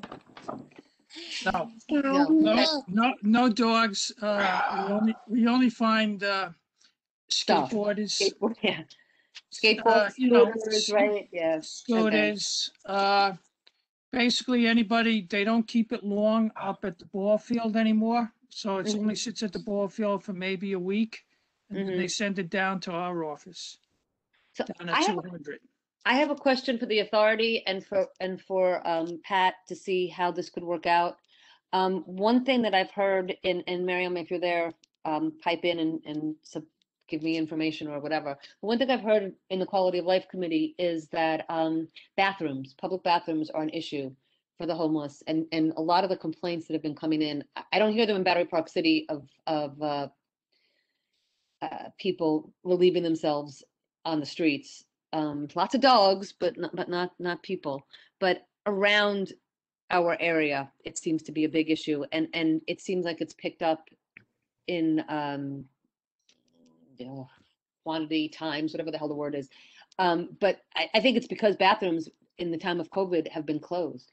What's the the bathrooms in our public bathrooms and what can we do to kind of relieve the situation, literally, figuratively, for, for, for these people? Justine, And what do we good want to do with it?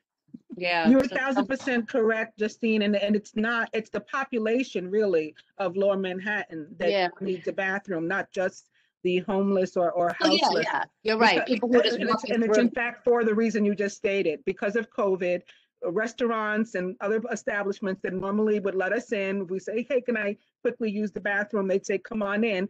That has come to a full stop Yeah. um, in most places. And sometimes even if you are a patronizing spending customer in some of these places, you cannot use the bathroom. And Yeah. so obviously, if you have no place to, to run to, a home to run to, then you're in What are we trouble. Exactly. So, so, I mean, it, it's something that I would, I, I- you know, it's, it's a balance and I certainly get it. Nick, I'm sorry, Nick, uh, Patrick, when you were speaking, you talked about, um, you know, the emotional issues and I've heard that there's been issues. I, I, there are some people who are just not stable.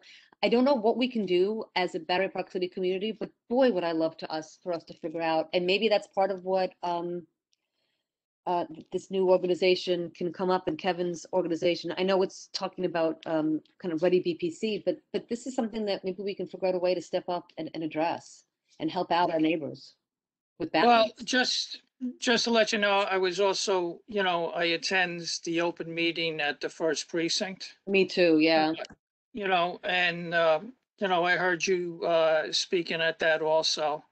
Uh, the homeless issue obviously is all around and a lot of it with the homeless also, besides it being, you know, them being, uh, EDPs, you know, there's also the drug use and sometimes, you know, you're dealing with somebody that's high on something that you don't even know what they're high on. But uh, as far as the bathrooms, Wagner's been open, Teardrop Ba- uh, Park has been open. Our It's not office now. twenty-four seven, right? Which I don't know that it No, ever no, has. the bathrooms, the bathrooms are not twenty-four seven. You know, they close, uh, Wagner Park closes around six o'clock. Teardrop Park closes later on. Uh, think they're up to now like eight, uh, seven o'clock where they close. Up in Teardrop Park, uh, our office, the bathroom, uh, there's a bathroom open now in our office. You know, and uh, Wagner and Teardrop has been open now for at least, Nick, correct me if I'm wrong, about three months. There, those great. bathrooms have been open. So yeah, we they do, first reopened in. Uh, actually, I'm looking back at it now. It's crazy to think it's been that long since we're in a perpetual time loop. It seems, but Yeah, yeah. the bathrooms first reopened in June. Of last Uh, year. um, Wow. Yes, and then in July, Yes. uh, the restrooms at the ball fields reopened up. I remember um, talking from about that. 8 yeah. a.m. to 9 p.m. daily. So I can it coincides with whatever the ball field hours are. So Yeah. sometimes the certain parts of the ball fields close at eight, the restrooms close at the same time. But yeah, ball fields, uh, Teardrop and Wagner have been open now for almost reopened almost for now for close to a year. And Patrick mentioned now that the restrooms in 200 Rector, which is where the command center is, is also now uh, opened up for you know kids sometimes using the playground or whatever else. We're asking you know folks to still maintain a safe distance when they're coming in and whatnot. Wear but, uh, masks and all that stuff. No, yeah. which makes sense.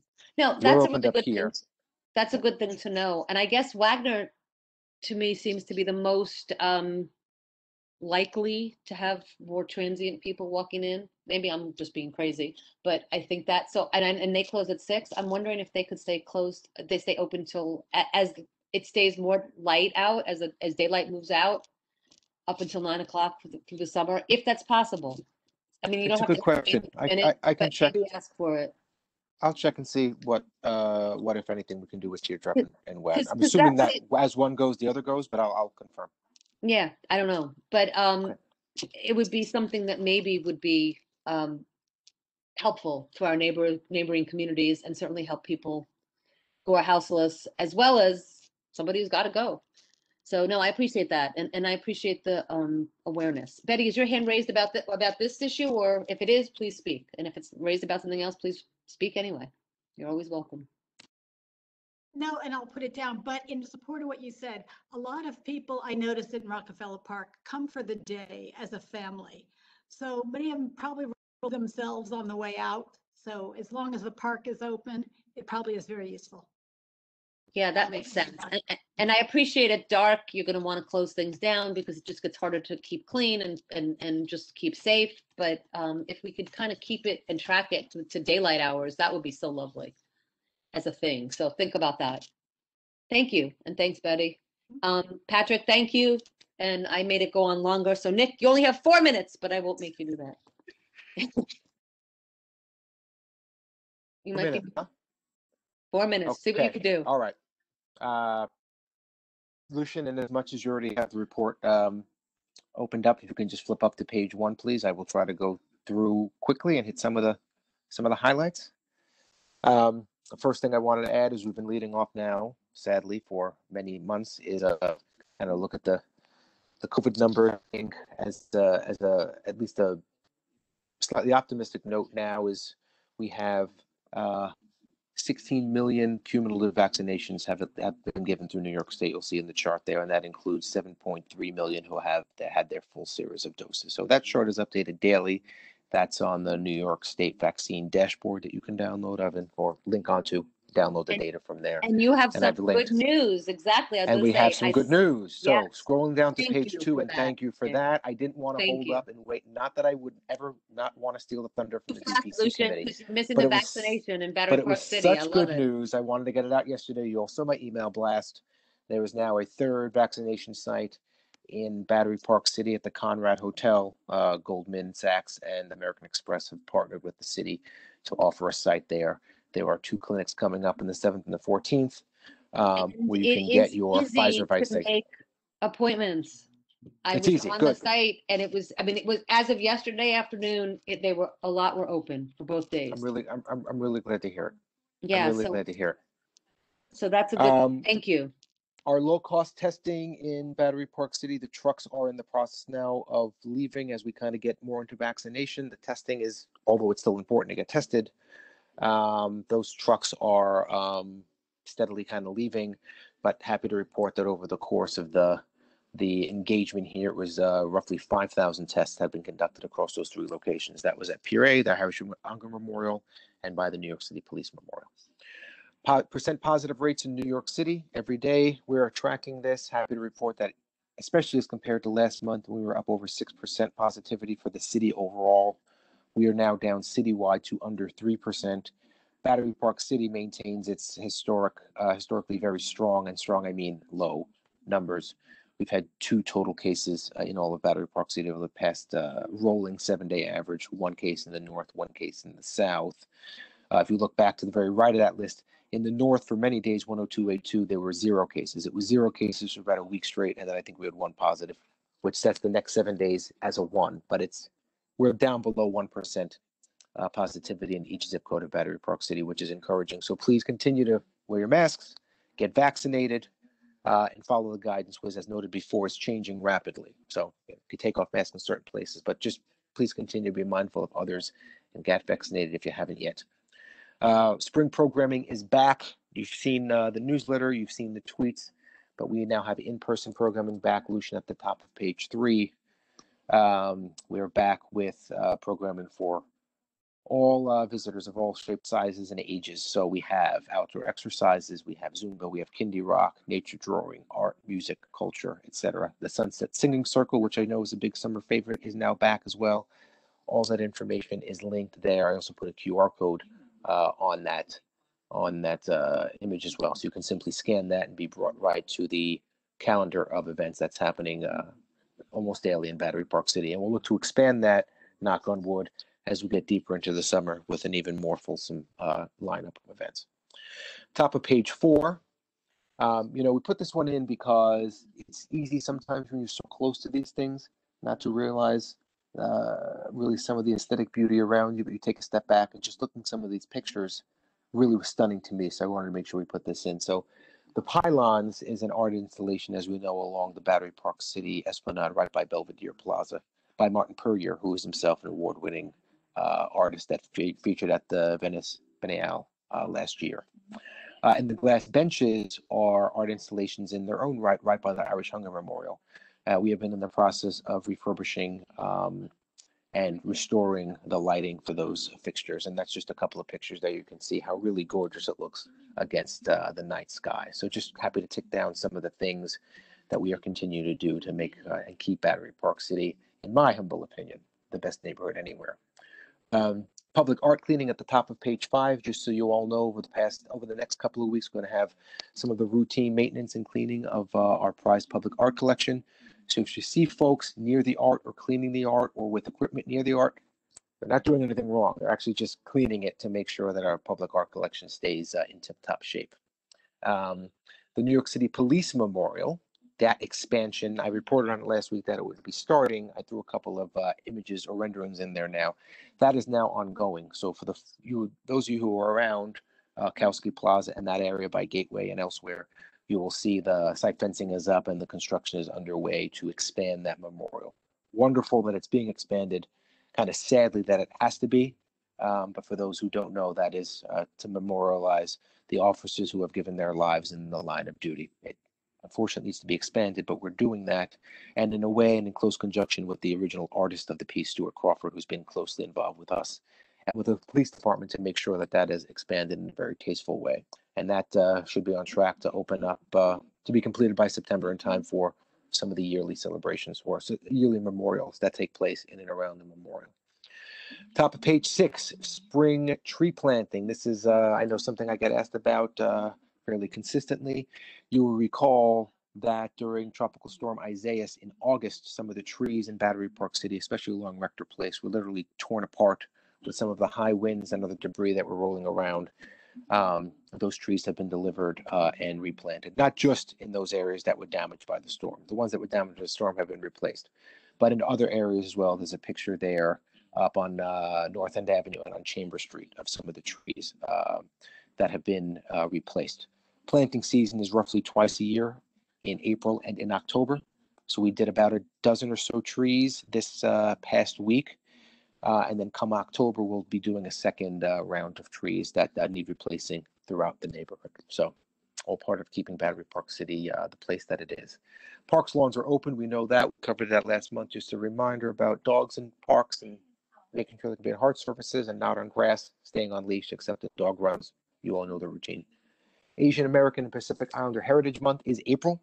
We made a note last uh, last month uh, stating obviously our rejection of hate in all its forms, especially toward the Asian and Pacific Islander community that we've been recent, recently experiencing.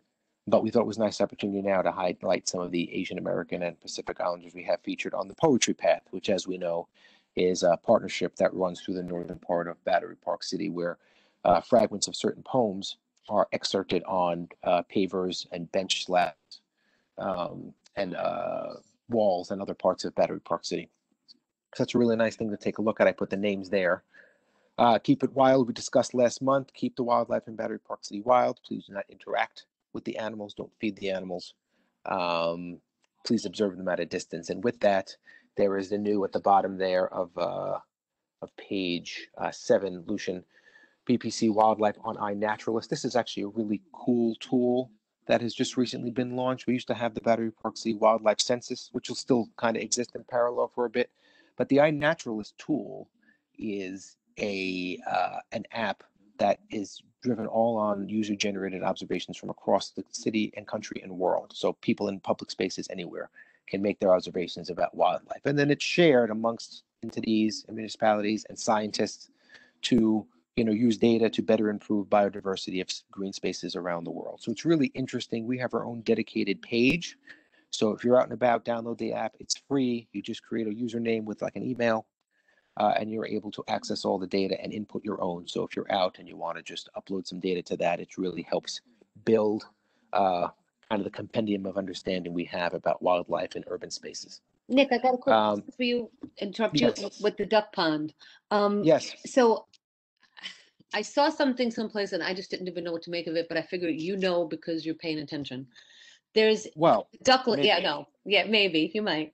But uh, the ducklings, if there are any ducklings born yet, which I'm sure there's Yes, the coming up. ducklings just the ducklings just hatched. The ducklings just hatched yesterday, May fourth. Yesterday, oh boy. And so that like uh, ramp that's built, that actually helps them or hurts them? I don't know what Oh, it it helps. It helps. Yeah, there's you'd be surprised. You know what? Just Yeah, so you didn't want the meeting to go long, but I have spent more time in the past couple of days and weeks on ducks than I ever thought I would. But it's all part of kind of educating ourselves and trying to make sure we're coming to the to the best solution.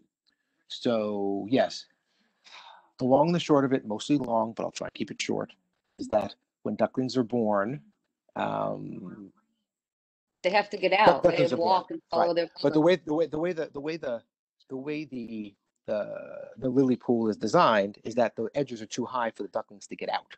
Right? They're a little short. They can't. They can't. And the way ducks work, unbelievably, or believably, perhaps I didn't learn it until recently, is that ducks don't function like other birds, where other birds, you know, you have the image in your mind where the bird captures the worm and then it comes back and feeds it Yeah. to its. It, ducks don't work that way. Mother ducks call their ducklings to follow her, Oh, wow. and she leaves them where they are to forage for food. That's how they learn how to survive. Um, they the issue here, of of course, you can see what I'm saying is that they're in the pond, they can't get out. They can't follow the mother. When the mother goes out to forage for food, the ducklings are stuck, leading them to either be stuck and starve or people feeding them, which Mhm. goes back to what? Don't feed, Feed the the animals yeah. because that only leads to animals expecting to be fed or them being fed things that aren't healthy. And even if it's like, oh, well, we understand it shouldn't be bread, but it should be, you know, duck food. I No, understand don't that. do it. But Right, wild exactly. ducks don't eat domesticated duck food that you buy in a store. Wild ducks eat, believe it or not, waterborne invertebrates for the most part because that's they're they're wildlife. They're not pets, right? The other issue is I don't think we can really kind of trap animals in Battery Park City. We need they need to be able to get in and out. But Right. believe it or not, we wanted to make sure we were doing some additional research. So we had ramped it uh, on the advice and speaking with our partners at the Department of Environmental Conservation. Excellent. I thought you Um, would have done that, so yeah. yeah, yeah, yeah, of course. But you know, just this morning, interestingly enough, because I, I wanted to make sure that we're having our, our premises right. It's always it's always you know important to make sure that you are really sure about the things that you're doing, especially from a a public perspective, public policy perspective. Is there was some concern that well, yes, that's fine, but the ducklings are going to get out, and if they get out, they'll jump into the Hudson, and then they'll they'll Oh, drown. Mm. Right. Um, but we have had these conversations um, with the, uh, actually, I spent some time on this this morning with, believe it or not, the uh, U.S. Department of Fish and Wildlife, which recommends ramps. Okay. see ramps, incidentally, in places all across the country. The Reflecting Pool in Washington, D.C. has a ramp, Seattle, Washington, Virginia That's. Beach, No, Fort Smith, New York. perfect. Ramps are in a number of different places. Um, but very helpfully, what they had told us was even after I went through the the situation with them, I said, "Hey guys, I want to make really sure here that yes, there's a ramp, but I want to make sure are we a unique enough situation, what with the river so close by, that we shouldn't ramp, even though that is the recommendation across the board." Yeah. And the wild U.S. Fish and Wildlife um, Service came back to us and confirmed for us again that no, wild ducks choose their nesting sites based on proximity to different kinds of habitats between which they will usually move and spend time to raise their ducklings. The movements of wild ducks, including what they call family broods, Mhm. should not be restricted, as that could add considerable stress and danger to the female and young. It's also illegal, apparently, as as I noted, under federal law to harass or capture wild birds, unless you have a permit, which we're not a you know we're not a zoo or a wildlife sanctuary. Right? We're, that. Yeah, park exactly. you know, interestingly enough, also is um, ducklings can, which I didn't understand either. Ducklings can swim when they're born, or you know, 12 hours after they're born, they can swim. They're not going to sink. They can fall long distances, sometimes out of trees as high as 50 or 60 feet high, and land on ground or in the water. And they can swim perfectly fine in very strong surf tides and Wow. waves. So ducks are very sturdy swimmers. Um, and they can they can swim uh, you know significant distances when surviving surviving so you know so they are you know, every everybody we check with to make sure that this is indeed kind of the right decision to make we are getting back that yes we understand that there's hazards perhaps that go into the river but there are also hazards um, No, if they're I- stuck in the pond including not being able to eat or getting attacked by other ducks i had an email come in a few years ago which is very frantic about nick help us one of the mother ducks is drowning the baby of another mother duck because Oh, dear is God. scarce, right? Yeah. Or somebody threw a turtle into the pond and the turtle was drowning the ducks. So we love wildlife and we love nature, but these are wild animals and um, hazards will befall sometimes nature and wildlife, which all goes back to the point of keep it wild. Yeah, Animals keep come here for a reason.